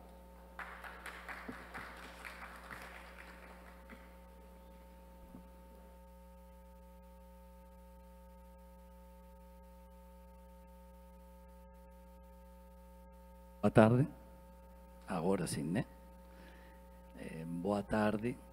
Eh, em primeiro lugar, muito obrigado a Aleski e ao Davi pelo convite, ao Guilherme da associação também pelo convite para estar aqui.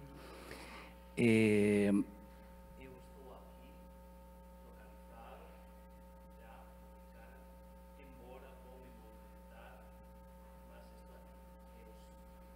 Eu sou um homem branco, cabelo preto enrolado, estou vestindo um, uma, um paletó azul, uma camisa branca e uma calça beige. E inicialmente quero pedir desculpas pela minha fala, por muito que eu estudei, eu vou falar português do Brasil com um forte sotaque, mas é português a língua que eu vou falar. Não se engane, não vou falar espanhol não, tá? Embora alguma palavra poderia ir saindo aí por conta das emoções, tá bom?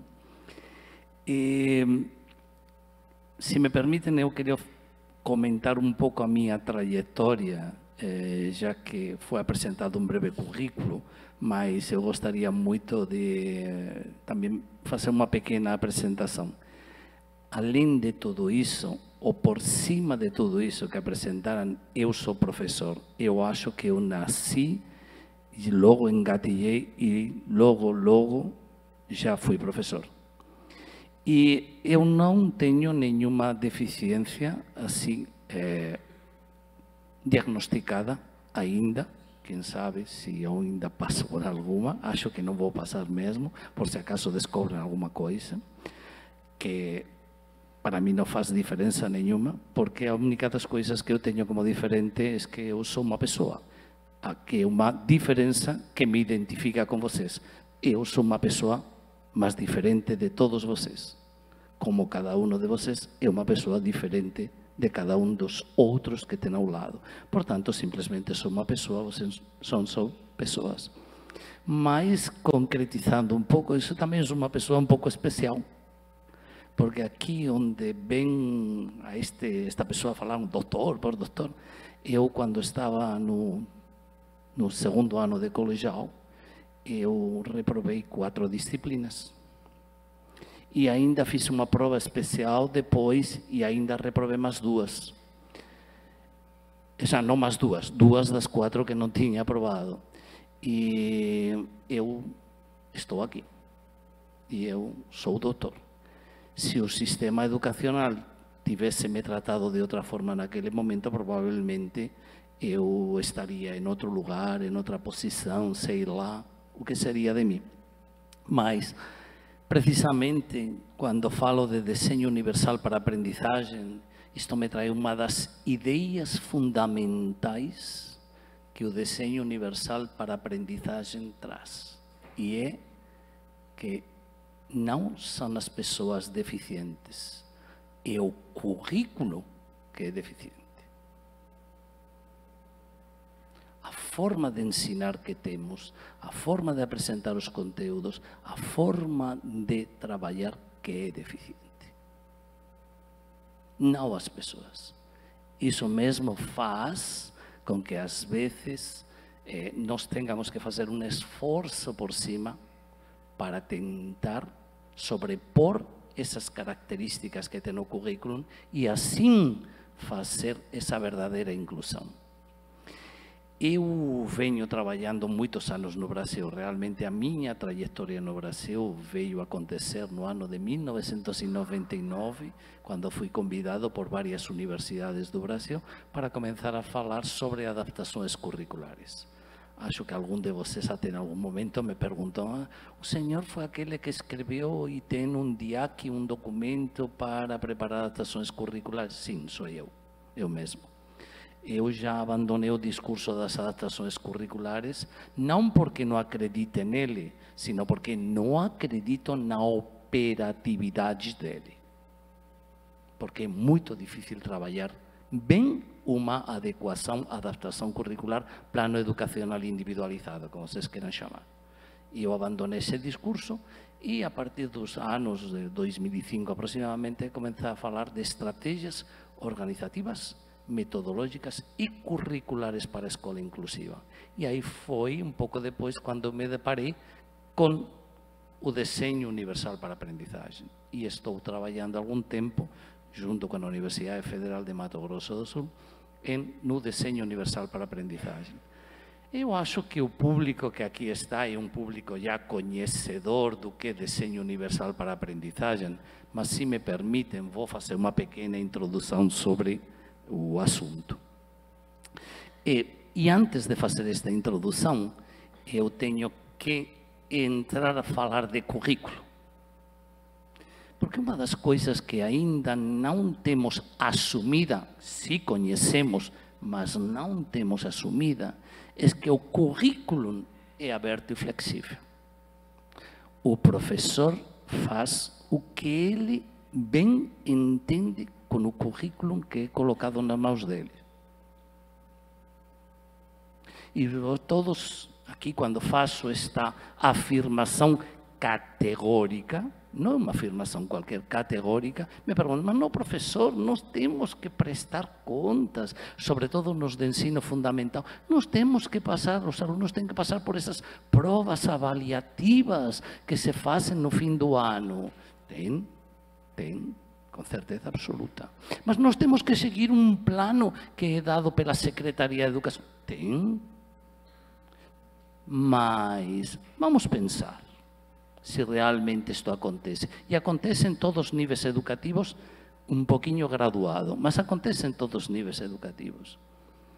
O professor tem umas diretrizes concretas, os PCNs, que se materializan, concretizan despois na, na, eh, na base común curricular, na BNCC, e depois se concretizan os planos que son dados pelas secretarías de educación ou nos planos ou las, os planejamentos que são feitos nas universidades.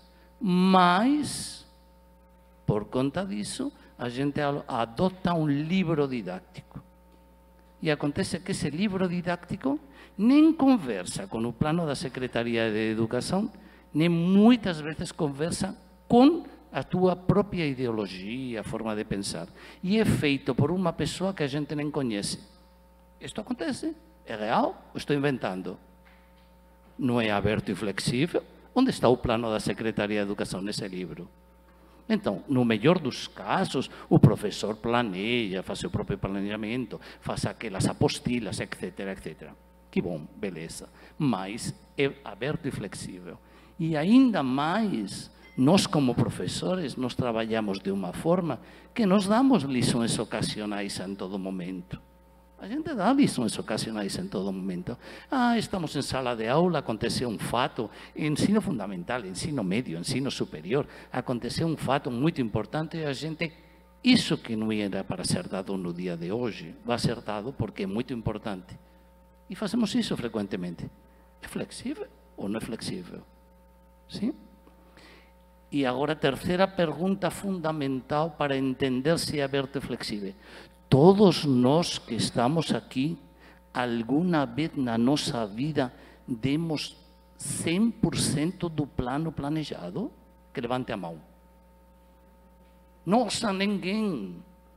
Isso acontece frequentemente. Então, nosso currículo aberto e flexível. Acreditemos que é currículo aberto e flexível e planejemos como aberto e flexível. E esta é a base fundamental do desenho universal para a aprendizagem. Porque nós frequentemente fazemos adaptações ou adequações, sejam significativas ou não significativas. Nós fazemos planos, flexibilizações, seja para um aluno com altas habilidades, que fazemos aquelas flexibilizações, ou esta nova versão que agora está aparecendo dentro do currículo, dentro do planejamento, que é a diferenciação curricular, que é o nome técnico que temos dado para o desenho universal para a aprendizagem. Só que, só que, no ensino fundamental, a gente pode eliminar conteúdos quando as adaptações curriculares são significativas para determinados estudantes com determinadas características ou singularidades. E na universidade, não, ou no âmbito universitário, não podemos eliminar nenhuma competência. Esse é um diferencial importante referente à organização do currículo. Mas, mesmo assim, é um currículo aberto e flexível.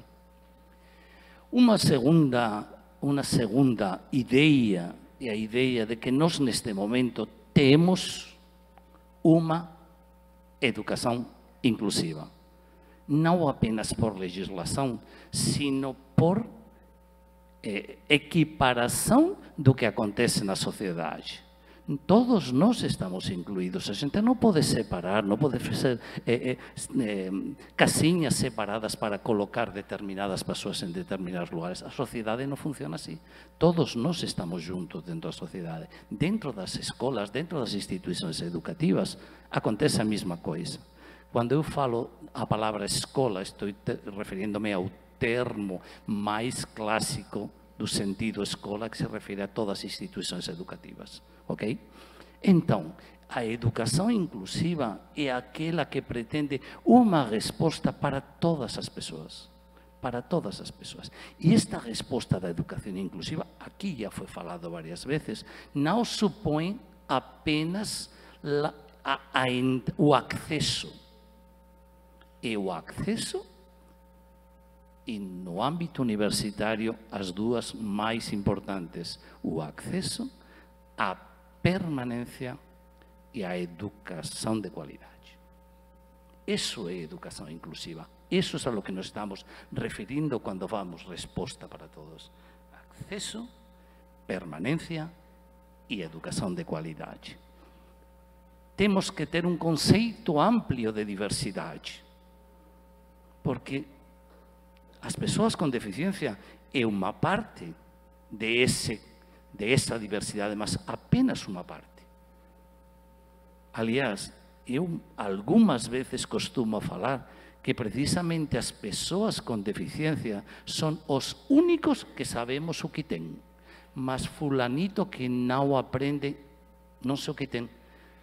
Aquela menina que se movimenta muito, não sei o que tem aquele aluno que escreve mal não sei o que tem.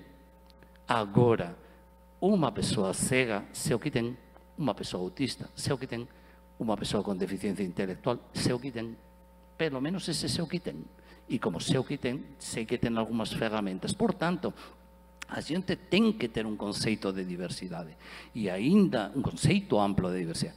E ainda, se conectamos com a ideia anterior de que é o currículo que é deficiente, o próprio currículo na própria escola pode criar ainda mais diversidades, pode criar dificuldades de aprendizagem em determinadas pessoas, como a pessoa que aqui está falando neste momento.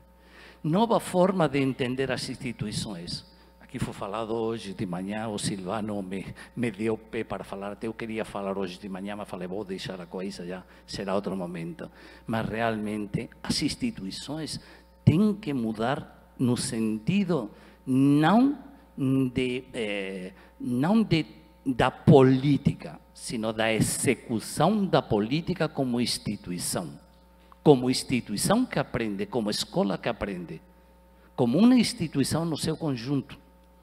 As escolas, as instituições educativas, a maioria dos, do, do, do, do, todo o desenvolvimento que elas fazem vem do mundo empresarial, fundamentalmente do mundo das organizações. E aprendem de aí, trazem as coisas. O mundo das organizações, das empresas, cresceu muito. O das escolas, não. O das escolas, não. Tem uns princípios, aqui foi falado pelo Silvano, tem um princípio diretriz X para ser feito e não é feito. Por quê? Eu tenho acompanhado duas pesquisas de dois orientandos meus, duas orientandas minhas. Uma pesquisa, as duas estão publicadas, se alguém interessa, depois passo as referências. Uma delas é de uma professora, de uma mestranda, que ela pesquisou em uma escola fundamental e pesquisou o, o PPT, o PPC dela e pesquisou também o plano da própria escola, pesquisou as duas e analisou e viu que naquela escola estava registrado e escrito todas as características para ser uma escola inclusiva, quase que perfeita. Organização de espaços, como fazer as adequações curriculares, como fazer o acolhimento dos alunos, como organizar as salas. Havia um monte de coisas colocadas lá. Está escrito. Aquela escola tinha prácticas educativas inclusivas? Ainda tem uma segunda pesquisa, de uma orientada de uma doutora já, que ela pesquisou uma instituição de ensino superior e ela analisou os planos dos professores desde a perspectiva de DUA. E acontece que naqueles planos que aparecem aí, muitas das coisas, das orientações DUA, estavam escritas lá como diretrizes para ser desenvolvidas naqueles planos. Os professores executavam aquilo? Não. A mesma coisa que Silvano trouxe hoje aqui. Eso es ao que me estou referindo con nova forma de entender as instituições. Nós vamos todos no mesmo caminho. Nós temos essa cultura de instituição. Saben que cultura? Cultura é valores compartilhados. Valores compartilhados. Nós sabemos a onde vamos e o que nós queremos. E isso é um elemento fundamental. E o terceiro, mudança nas formas de ensinar nos temos que comenzar a pensar que nosas formas de ensinar ten que mudar. E a cada día están mudando e a cada día vemos máis, mas aínda ten que mudar máis. Non vou colocar exemplos porque probablemente o auditorio que eu teño aquí va a falar non, eu faço tal coisa, eu faço tal coisa e máis. Mas temos que mudar moito. Non podemos seguir con o mesmo esquema porque non está dando certo. Non está dando certo. E fundamentalmente estou ollando neste momento para o ensino fundamental 2 brasileiro. E o ensino fundamental 1, series iniciais, con 57% dos alumnos que non saben ler e escrever depois de tres anos na escola. Alguma coisa temos que mudar. E no mundo universitario nem falemos, que tamén temos exemplos para falar. Ben, que é o DUA? Vamos entrar en materia.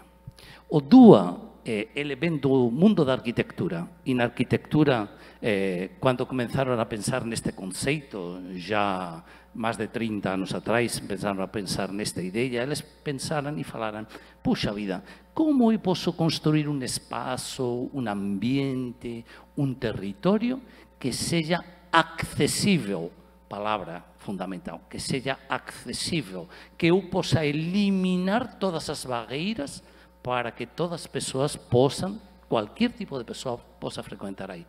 E então eles pensaram a primeira coisa, nossa, a primeira coisa que o, o cadeirante, né? uma pessoa com deficiência física. Então vou construir rampa. E começaram a construir rampas. Começaram a construir rampas em todo quanto lugar, construíam rampas e tal. E aí observaram que a população de cadeirantes mundialmente é 0,3%. Tá? Então, era, eles construíam uma, eh, cadeirantes, me refiro a deficiência física no geral, com problemas de deambulação, de mobilidade. 0,3%. Quer dizer, estavam fazendo um recurso para uma pequena parte da população. E aí observaram, e observaram que de repente aquele senhor que ia empurrando o carrinho do bebê, ele ia pela rampa, porque era mais fácil. Aquela señora carregada de pacotes que tiña que entregar un lugar, ia pela rampa. Aquela crianza que quería coger moito, ia pela rampa. Entón, a rampa servía, pensando nunha deficiencia, servía para a accesibilidade de moitas persoas, de diferentes persoas, de diferentes tipos de diferenzas de persoas atendía a unha diversidade máis ampla que simplesmente a diversidade para a cual foi creada. E este é o conceito que eu quero levar para vocês, un conceito bien simples, é o conceito de accesibilidade. Algo que seja accessível para todas as persoas. Tudo bem, eu tenho que pensar em uma pessoa com uma determinada característica, mas serve para outras muitas. Sendo assim, desenho universal para aprendizagem foi construído acima dessa teoria de desenho universal, foi criado por Rose e Meyer lá no final do século passado, depois tiveram uma transição e foi criado dentro de um centro que era Centro de Assistência Tecnológica, Massachusetts. E aí, quando eles criaram, estava muito ligado com as tecnologias. E eh, eles, como definição, trazem design eh, desenho como design, como estrategias, como planejamento, como modelo, algo mais abrangente que o currículo. Não é uma metodologia, não é uma estratégia, não é uma fórmula, não é, uma, não é uma, um modelo, não. É uma forma diferente de planejar. É uma forma diferente de planejar. Universal, porque pretende, tem a intenção de que seja para todos e, portanto, inclusivo, e para aprendizagem com foco em que todos consigam aprender. En definitiva, a definición que os propios autores tracen é que un conjunto de principios e estrategias relacionados con el desenvolvimento curricular. Por tanto, cando alguén fale de DUA, debe saber que o que está falando é de unha nova forma de organizar o currículo, de planejar o currículo, de planejar o que eu vou dar, as lições que eu vou dar, a matéria que eu vou dar, planejar. E a fundamentação do DUA é uma fundamentação muito ampla. Eu vou trazer algumas coisas porque eu acho interessantes eh, para eh, refletir. Mas uma delas é sobre a educação no termos gerais, e a, a, todo o que se refere às teorias da aprendizagem, psicologia de desenvolvimento, ciências cognitivas, neurociências, estão por trás. E uma das que mais eh, eu quero ressaltar é porque a teoría de Vygotsky está por trás do DUA. Até eu publiquei pouco tempo atrás, eu non me lembro onde está publicado un artigo que precisamente tentaba ver a fundamentación do Vygotsky dentro do deseño universal para a aprendizaje. E Vygotsky, dentro da súa teoría, fala que eh, ele mantiña como idea que as persoas desenvolven paulatinamente súas aprendizagens mediante a interacción social. E é aí onde eu quero chegar. Por qué? Porque esa interacción social se produce dentro da escola e fora da escola. Dentro da escola e fora da escola. E a gente tem que ser consciente disso. Mas dentro da escola eu posso fazer os movimentos para que isso seja ainda melhor e ainda aconteça mais. Lo qual significa que a gente tem que pensar até a própria estrutura da sala de aula, os trabalhos que eu tenho que propor para os meus alunos, a organização didática que eu faço e até a metodologia que eu utilizo. Nessa intenção, fala o próprio Vygotsky, nessa interação que adquirem novas e melhores habilidades. E, logicamente, como vocês sabem, essa teoria é a teoria também que sustenta, ou que está por trás, da teoria construtivista da aprendizagem. Un segundo elemento que está unha segunda eh, fundamentación teórica que está por trás do DUA, probablemente a máis potente, a máis forte, é a neurociencia. E a neurociencia fala que nós temos diferentes áreas cerebrais, ba, ba, ba, ba, ba, ba, ba, e estas áreas cerebrais fundamentalmente as subdivide, o, o, o, a neurociencia subdivide en tres. A primeira, me disculpen por este slide, este slide não é acessível para nada, tá? mas eh, eu tentei procurar um outro que estivesse ao contrário, mas eu faço a descrição, a descrição dele. Tá? Tem eh, um quadro preto e no quadro preto tem as três áreas da fundamentação teórica. Área do conhecimento, o que, múltiplas formas de representação, que se corresponde con unha área cerebral, área cerebral posterior, occipital, unha área estratégica, como, que ten un deseño dun cerebro con a área frontal, múltiples formas de ação e representación, e a terceira, a área afectiva, porque, para que, múltiplas formas de engajamento e unha parte do cerebro, a parte central do cerebro marcada na cor verde. Disculpen por esta apresentação deste PP.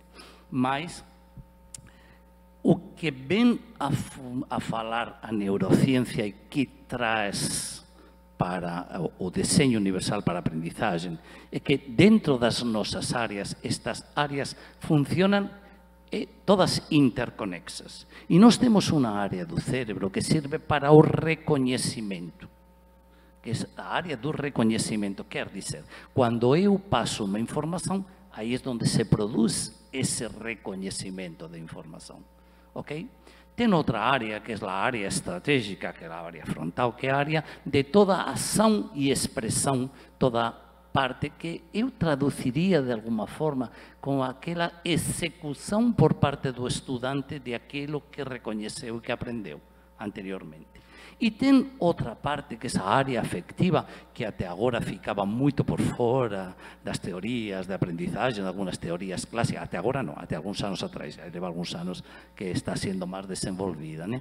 que é a área afectiva. E que a área afectiva fala precisamente de toda essa parte dos afectos, das emoções. Aqui também foi colocado em algum momento toda a importância das emoções.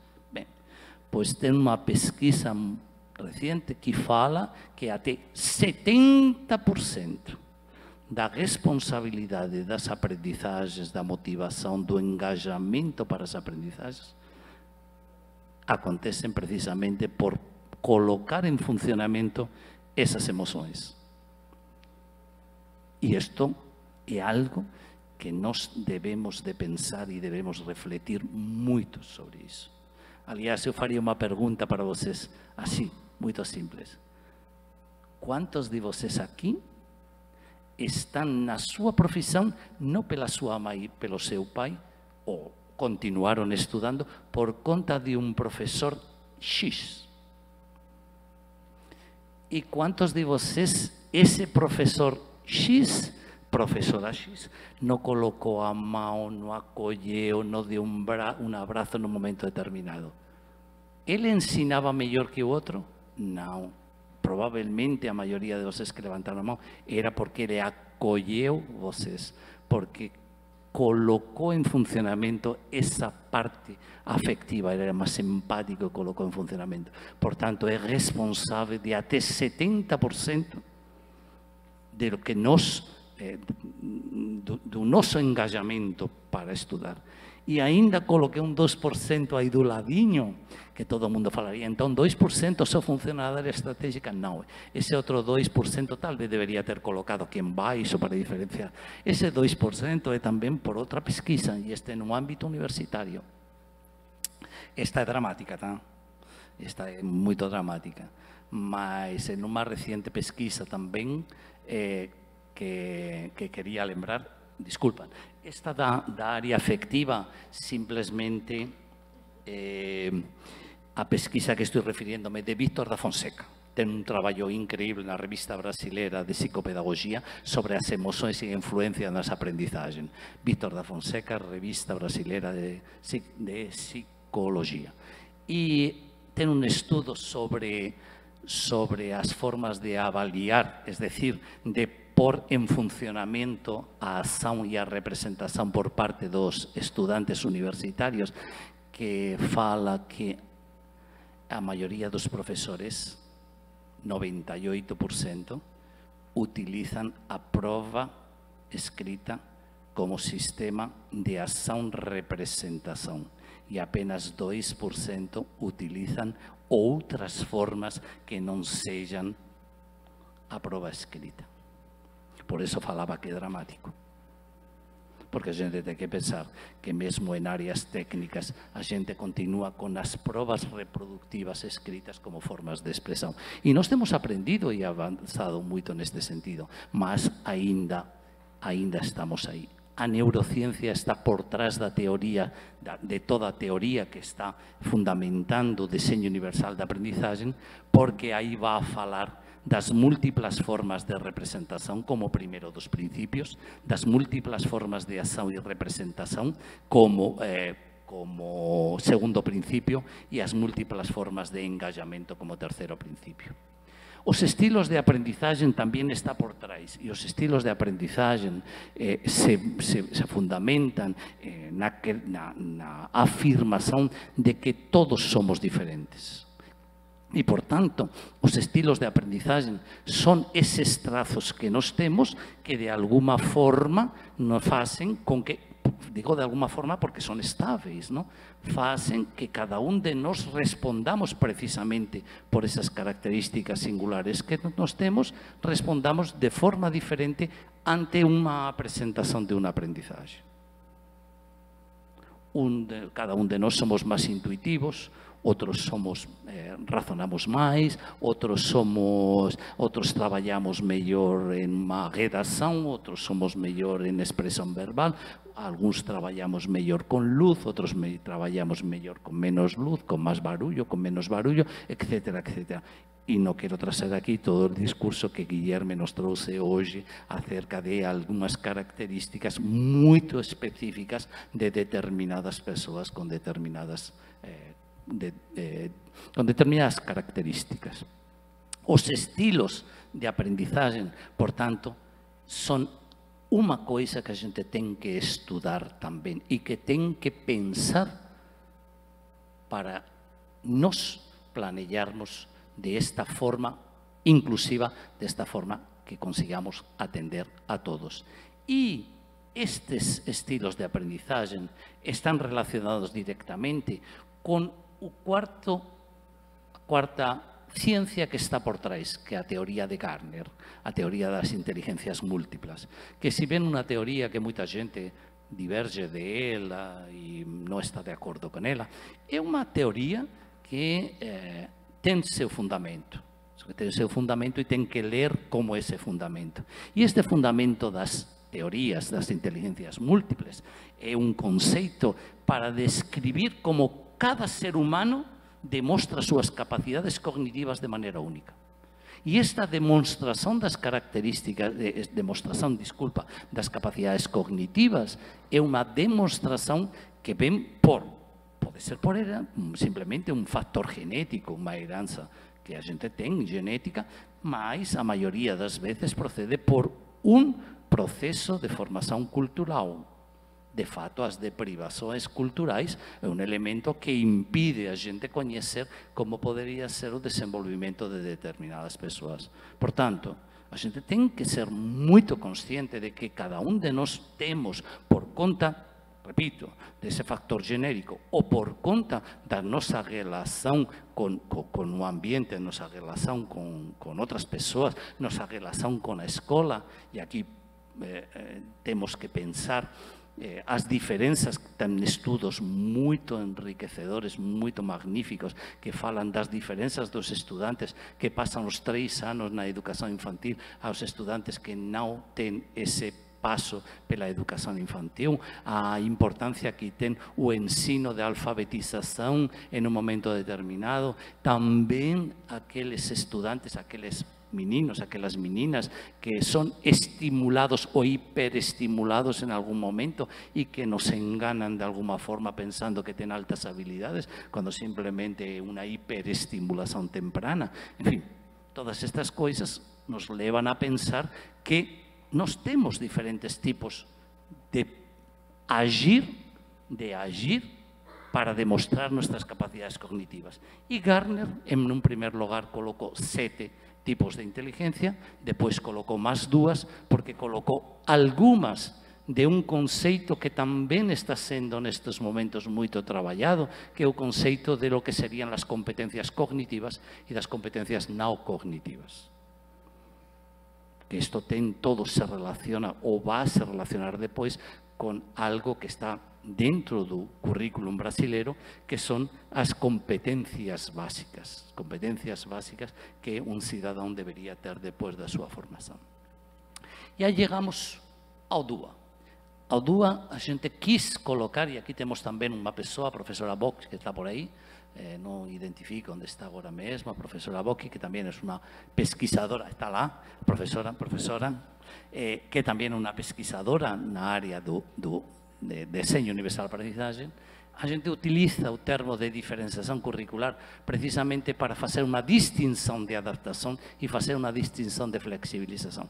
Eu ainda conhecedor das adaptações curriculares e escrevi muito sobre adaptações curriculares, ainda faço mais ênfase em colocar um nome diferenciado. Por quê? Porque as adaptações curriculares, adequações curriculares, UPI, tem uma carga muito negativa apenas falada para o professor. E eu entendo. Eu entendo. Porque é difícil fazer uma adaptação curricular bem feita. E me referirei depois a algumas coisas sobre isso aí. A diferenciação curricular, ou DUA, quando utilizamos o conceito de diferenciação curricular, defende que o currículum eh, que se adecua ao percurso didáctico do proceso de ensino na presentación de informacións dos contenidos de formas diferentes, que diferencia as maneiras que os alunos podem expressar o que eles sabem, ou estimula o interesse ou a motivação da aprendizagem. E aí é onde procede essa, esse tipo de adequação, esse tipo de modificação que nós chamamos de diferenciação curricular. Consequentemente, e aqui vem a diferença, o currículum não seria adaptado, e sim apresentado de forma diferente, condicente con as características, con esa diversidade ou posible diversidade que nos temos dentro dos nosos contextos educativos. E esa é a grande diferencia. E por que falo que superar ese conceito de adaptación curricular? O que ten de vantaxe eh, eh, un deseño universal, planejar con deseño universal para aprendizaje, en diferentemente de unha adaptación curricular, de un plano educacional individualizado. Como o propio nombre indica, un plano educacional individualizado é algo realizado para unha persoa, para un momento concreto. Por tanto, o profesor ten que traballar no mínimo con dois planejamentos. O planejamento da sala e o planejamento do, eh, para ese estudante en concreto a través dese plano educacional individualizado.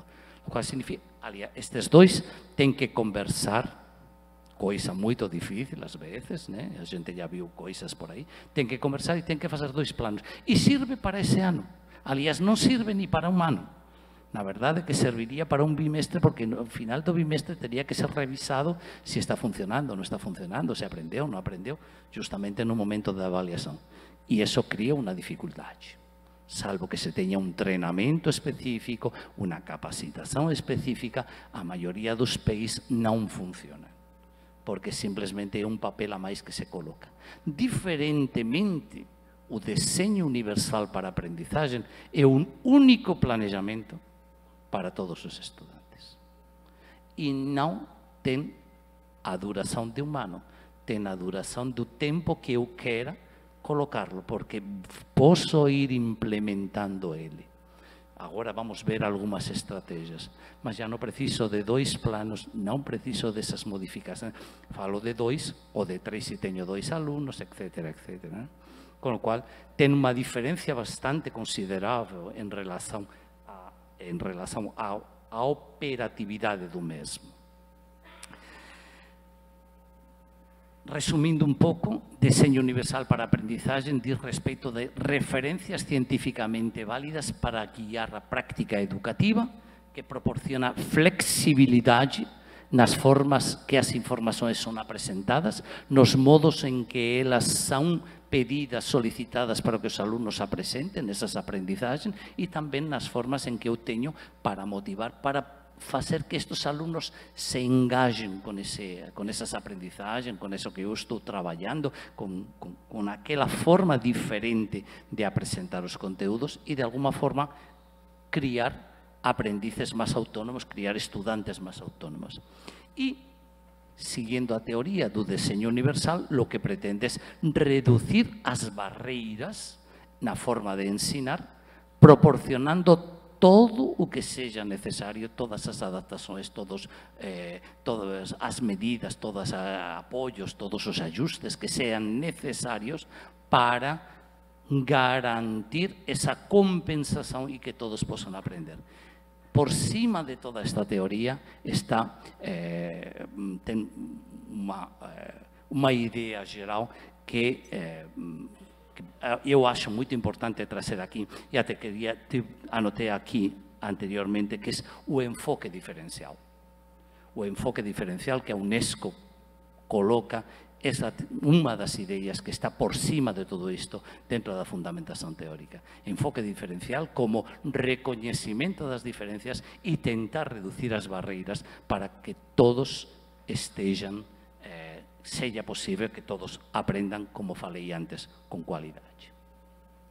Os objetivos do DUA serían, entre outros, mas coloquei cinco fundamentais, desenvolver unha cultura onde todos posan aprender con cualidade, promover a aprendizaje cuidando o desenvolvimento integral de cada alumno e súa afectividade, esa parte de afectividade das emoções é moito traballada, facilitar oportunidades para aprendizaje e oportunidades para aprendizagem e oportunidades para aprendizagem autónoma e gerar ou potenciar aprendices expertos, quer dizer, aprendices que por conta dessa motivação eles queiram seguir aprendendo, que a gente não tenha que ir puxando deles, que era um pouco as ideias que a gente está falando anteriormente quando eh, decía, de, eu me referia ao ensino fundamental 2.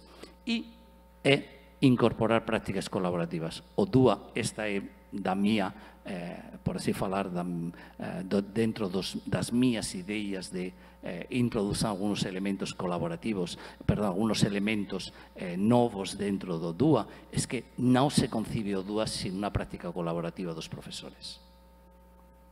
Cuanto antes me refería ás mudanzas das prácticas, entre elas as eh, incorporar as prácticas colaborativas. E dentro destas prácticas colaborativas, unha que está agora, ya que estamos falando en novas tecnologías, que aquí estamos precisamente niso, a creación de redes, redes que permitan precisamente eh, pasar todas esas informaciones.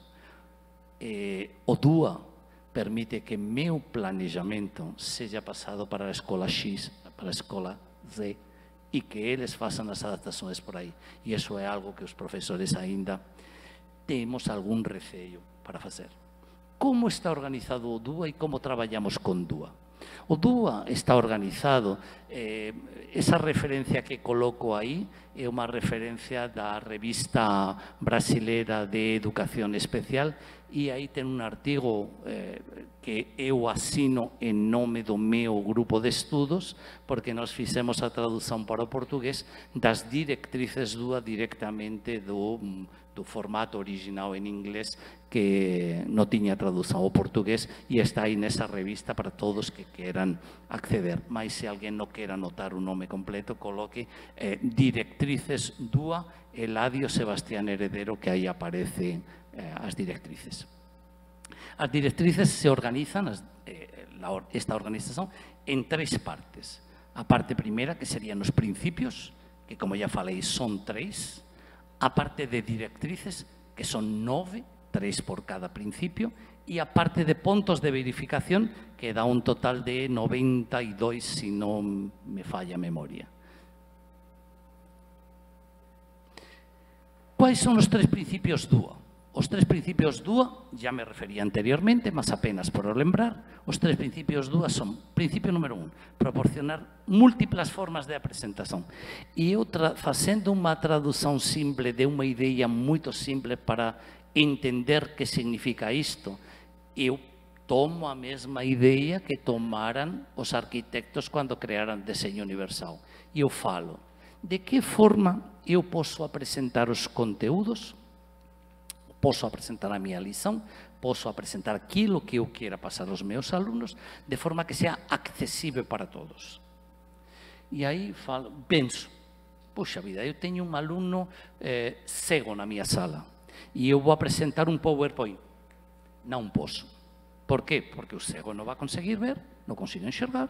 Então, vou apresentar o PowerPoint, mas ao tempo apresento. Se não uso tecnologias, posso apresentar em braille.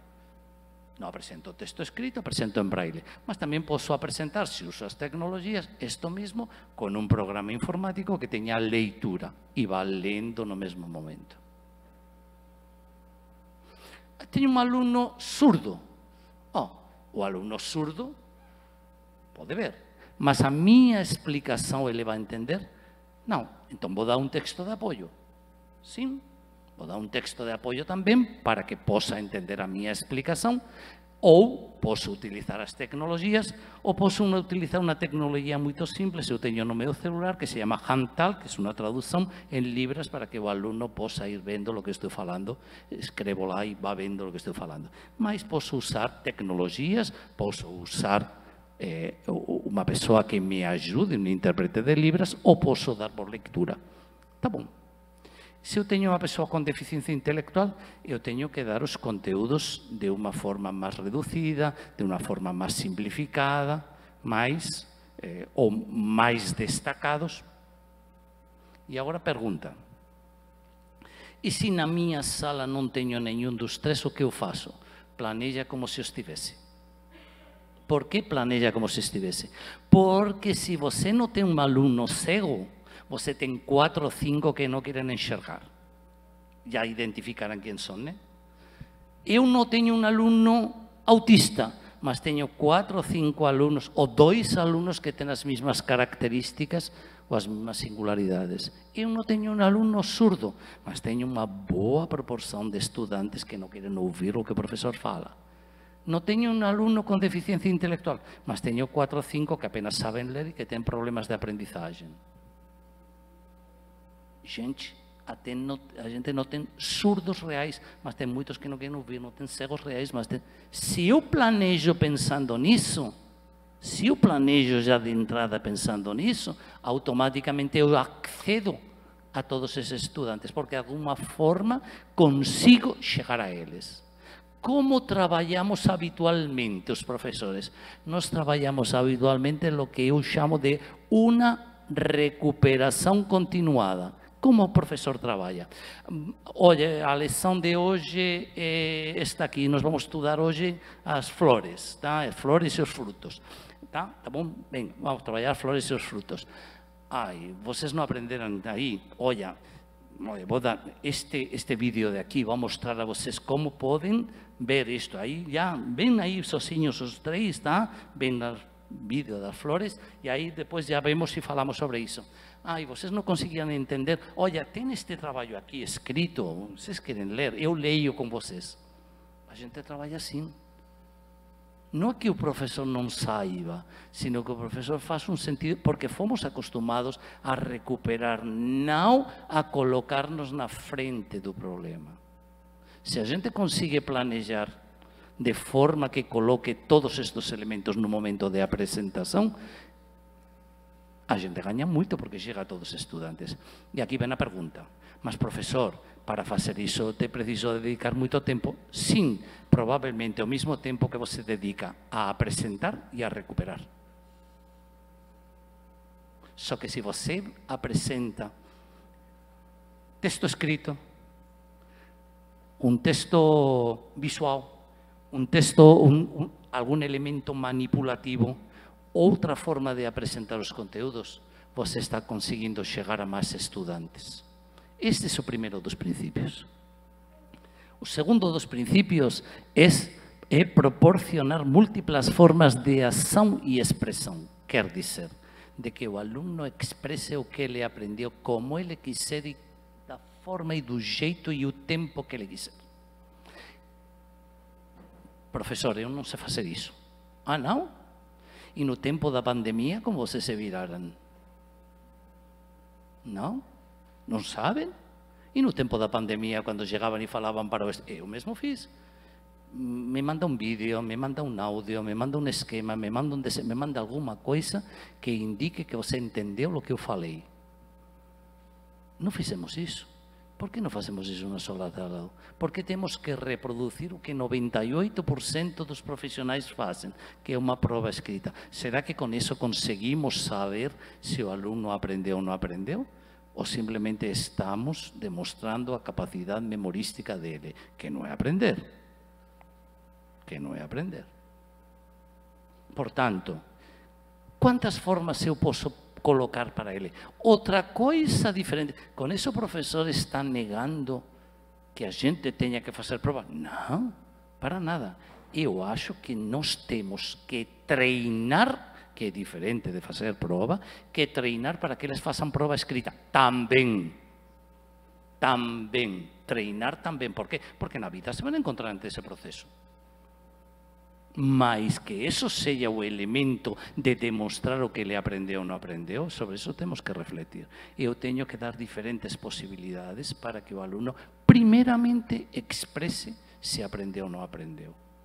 E agora me pergunto, se eu consigo chegar a quase todos os estudantes com esta forma de apresentar os conteúdos visual, manipulativa, textual, auditiva, se eu consigo chegar, porque apresentei todo isso em um momento determinado. Se eu, além disso, permito que os alunos, com o tempo deles, com a forma deles, apresentem os conteúdos, já não acham que eles vão ser mais felizes, vão estar mais motivados para seguir aprendendo, porque eh, eh, tem sentido o que estou fazendo na escola, tem sentido o que estou fazendo na escola. Todo isto não é novo, gente. Todo isto tem, é decir, se vocês pensam, todo isto tem eh, ideias que vêm de muito tempo atrás. E agora vem a pergunta-chave: tenho algumas outras formas de fazer mais motivação? Sim, tenho. Eu posso motivar mais aos meus alunos. Posso motivar com a apresentação de coisas que estejam mais próximas para eles, com a organização de eh, algumas atividades que sejam realmente operativas para eles ou que sejam eh, de aplicação para eles. Com certeza absoluta que tenho mais. Algum de vocês está pensando, nossa, mas eu isso faço. Não. não. Você não faz duas. Me desculpem, mas não faz duas. Eu faço duas. Não, não. Vocês fazem coisas avulsas. Sabe quando vocês vão começar a fazer duas? O dia que planejem. O dia que planejem, logo de entrada. Esse dia vocês vão fazer duas. Até esse dia, vocês estão fazendo coisas avulsas. Não é um planejamento duas. Aí está a diferença fundamental. Como se organiza o dentro de este eh, dentro deste mare magnum de ideias que eu falei? O DUA dá ideias, diretrices e, como falei, pontos de verificación moito claros. Nós temos três princípios. Principio un, que era o principio de eh, representación, de apresentación dos conteúdos, né? que se divide por súa vez en tres directrices. Uma, ofrecer opções diferentes para a percepção. Dos, fornecer várias opções para a linguagem, expressões matemáticas e símbolos. E três, oferecer opções para compreender e entender. E a partir de aí, diferentes pontos de verificação. Quer dizer, ideias para eu implementar, modificar, ir ampliando essa organização do meu planejamento, essa organização do currículo. E isto funciona aqui, eh, não dá para ler, mas já falei, está nessa revista que falei, quem queira entrar aí vê.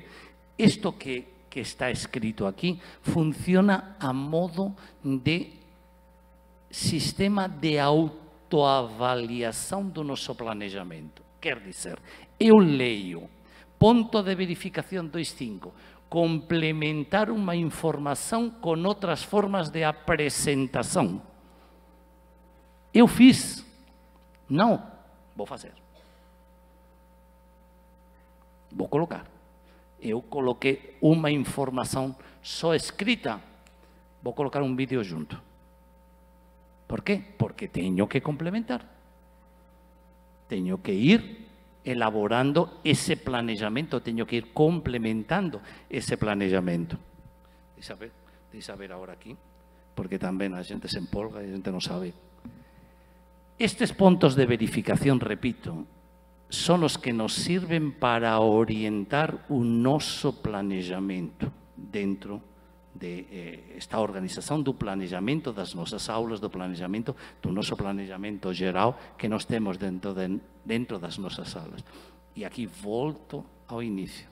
A gente tem que entender que nós temos um currículo aberto e flexível e, além de entender, acreditar que temos um currículo aberto e flexível e, portanto, que podemos modificar. O princípio 2, que é o princípio de ação e expressão, e algumas das coisas já foram anunciadas de alguma forma, fornecer opções para interação física.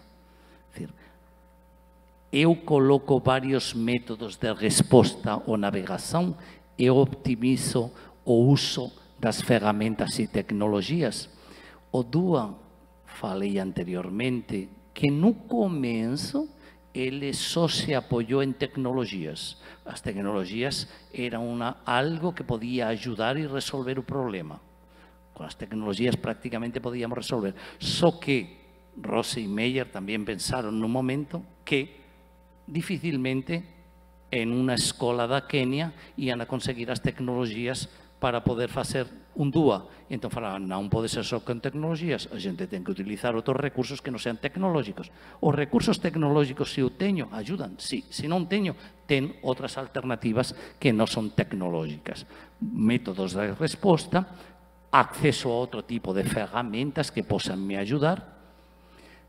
Outro, proporcionar, directriz 5, proporcionar opções para a expressão e a comunicação. Por exemplo, usar outros medios de comunicação que non sejam simplemente a parte escrita, a parte oral, na parte de un vídeo, definir competencias con níveis de suporte graduados a práctica e execución.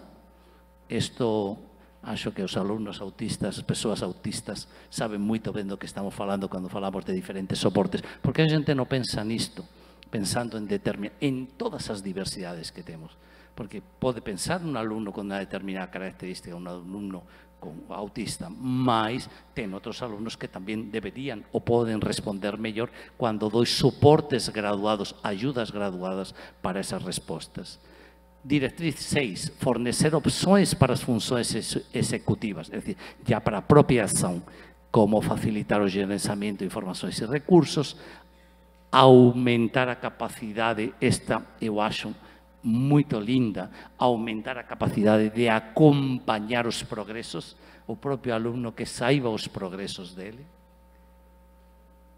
Directriz 7, proporcionar, ya referido al principio de motivação, o engajamento para as aprendizagens, proporcionar opções para promover o interese por parte dos estudantes, optimizar a escolla individual, optimizar a relevancia e o valor das actividades, proporcionar opções para manter esforço e persistência.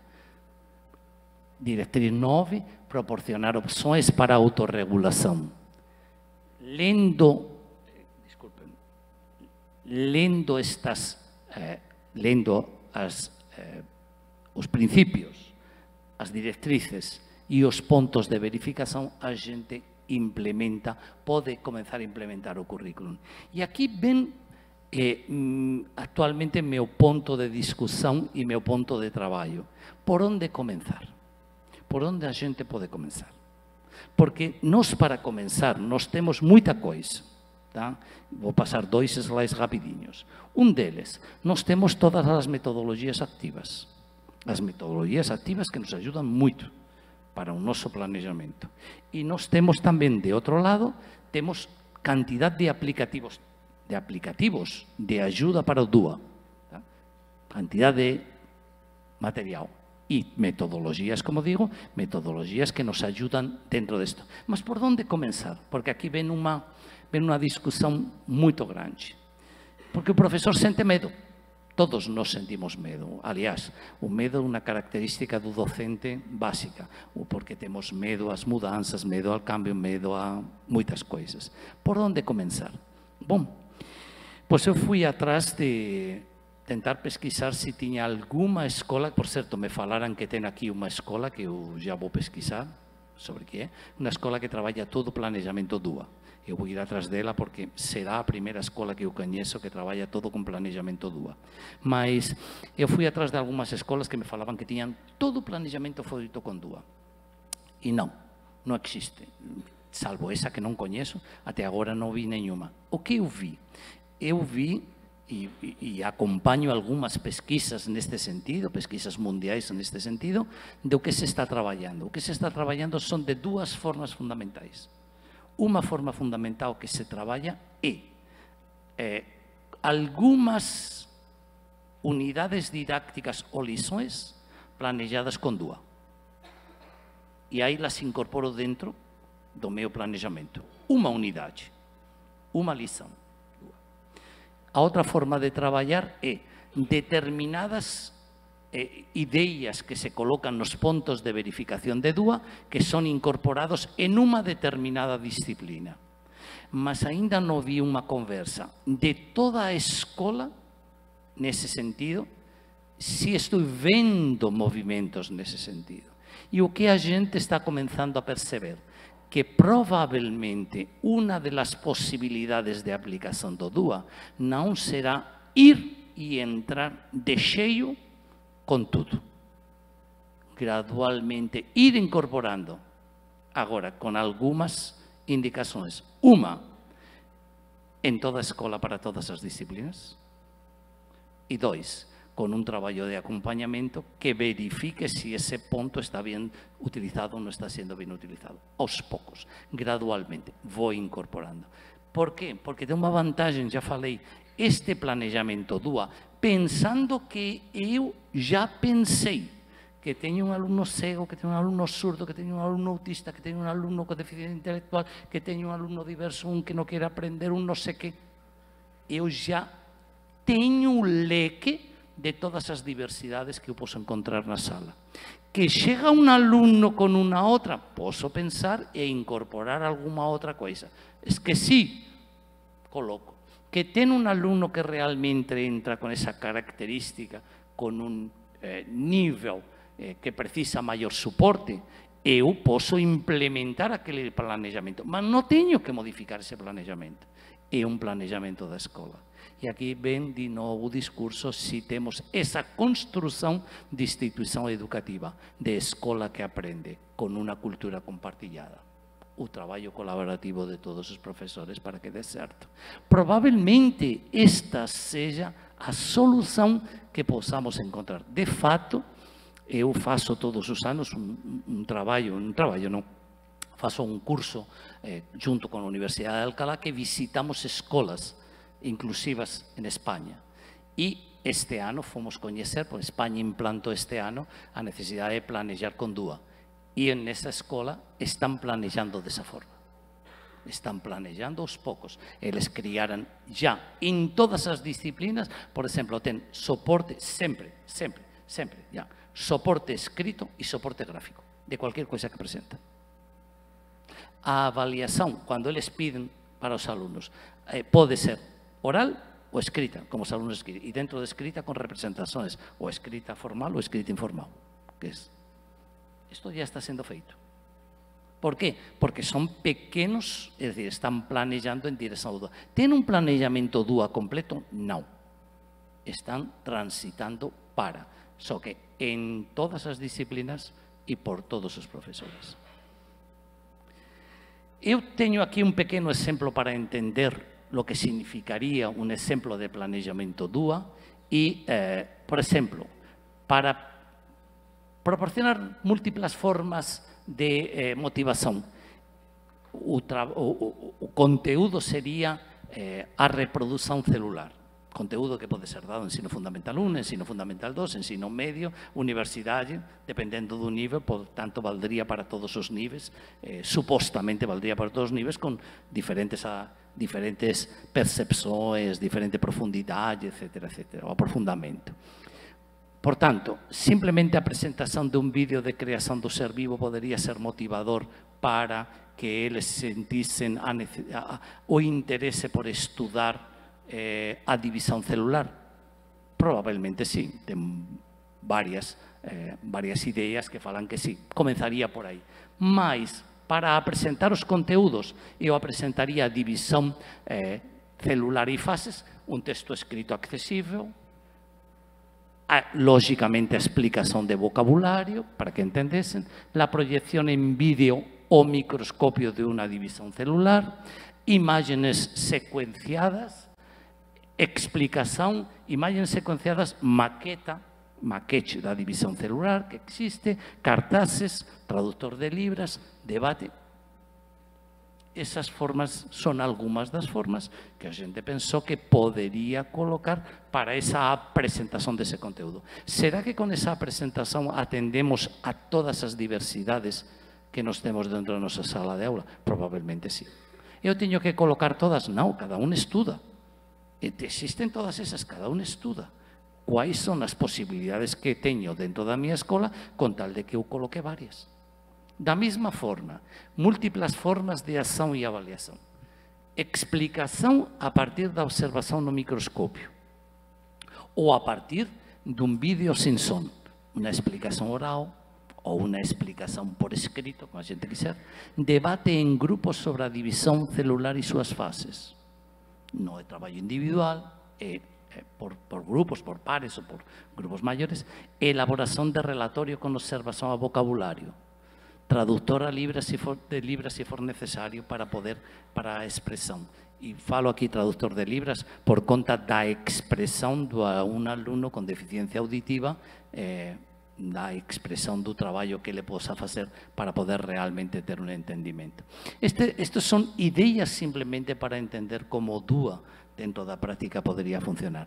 Existen neste momento eh, ya moitos traballos publicados en revistas que falan, como antes comentei, de eh, aplicación de DUA en determinadas unidades didácticas, en determinadas lições.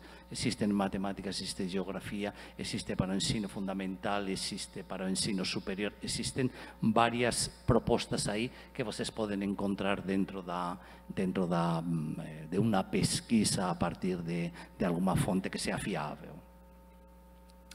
E con isto quería acabar, non sin antes falar que eh, a gente está traballando con isto há algum tempo. A gente se dedica também a formar, de fato, nós temos um curso sobre DUA que estamos organizando neste momento, eh, um curso de extensão junto à Universidade de Alcalá, um curso de 120 horas. A gente continua trabalhando sobre desenho universal para a aprendizagem como uma das propostas que sirven para eh, melhorar nossa escola que a nosa escola sea realmente inclusiva, que a xente consiga chegar a todos os estudantes que teñan unha, unha aprendizaxe de cualidade.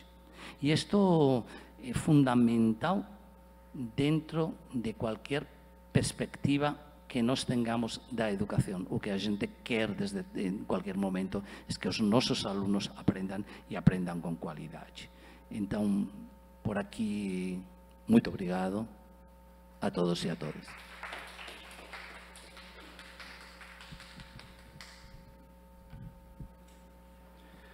Muito obrigado. É, gostaríamos de entregar uma lembrança.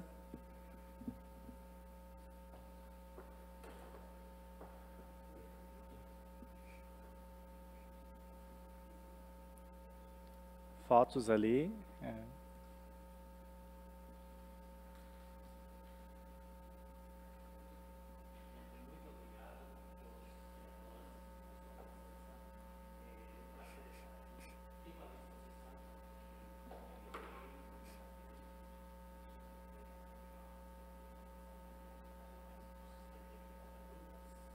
Não, já estouramos nosso tempo. Isso. Muito obrigado. A gente poderia ficar escutando o senhor a tarde toda, tá? Muito bom mesmo. Então, nesse momento, nós vamos fazer um intervalo de 15 minutos, tá?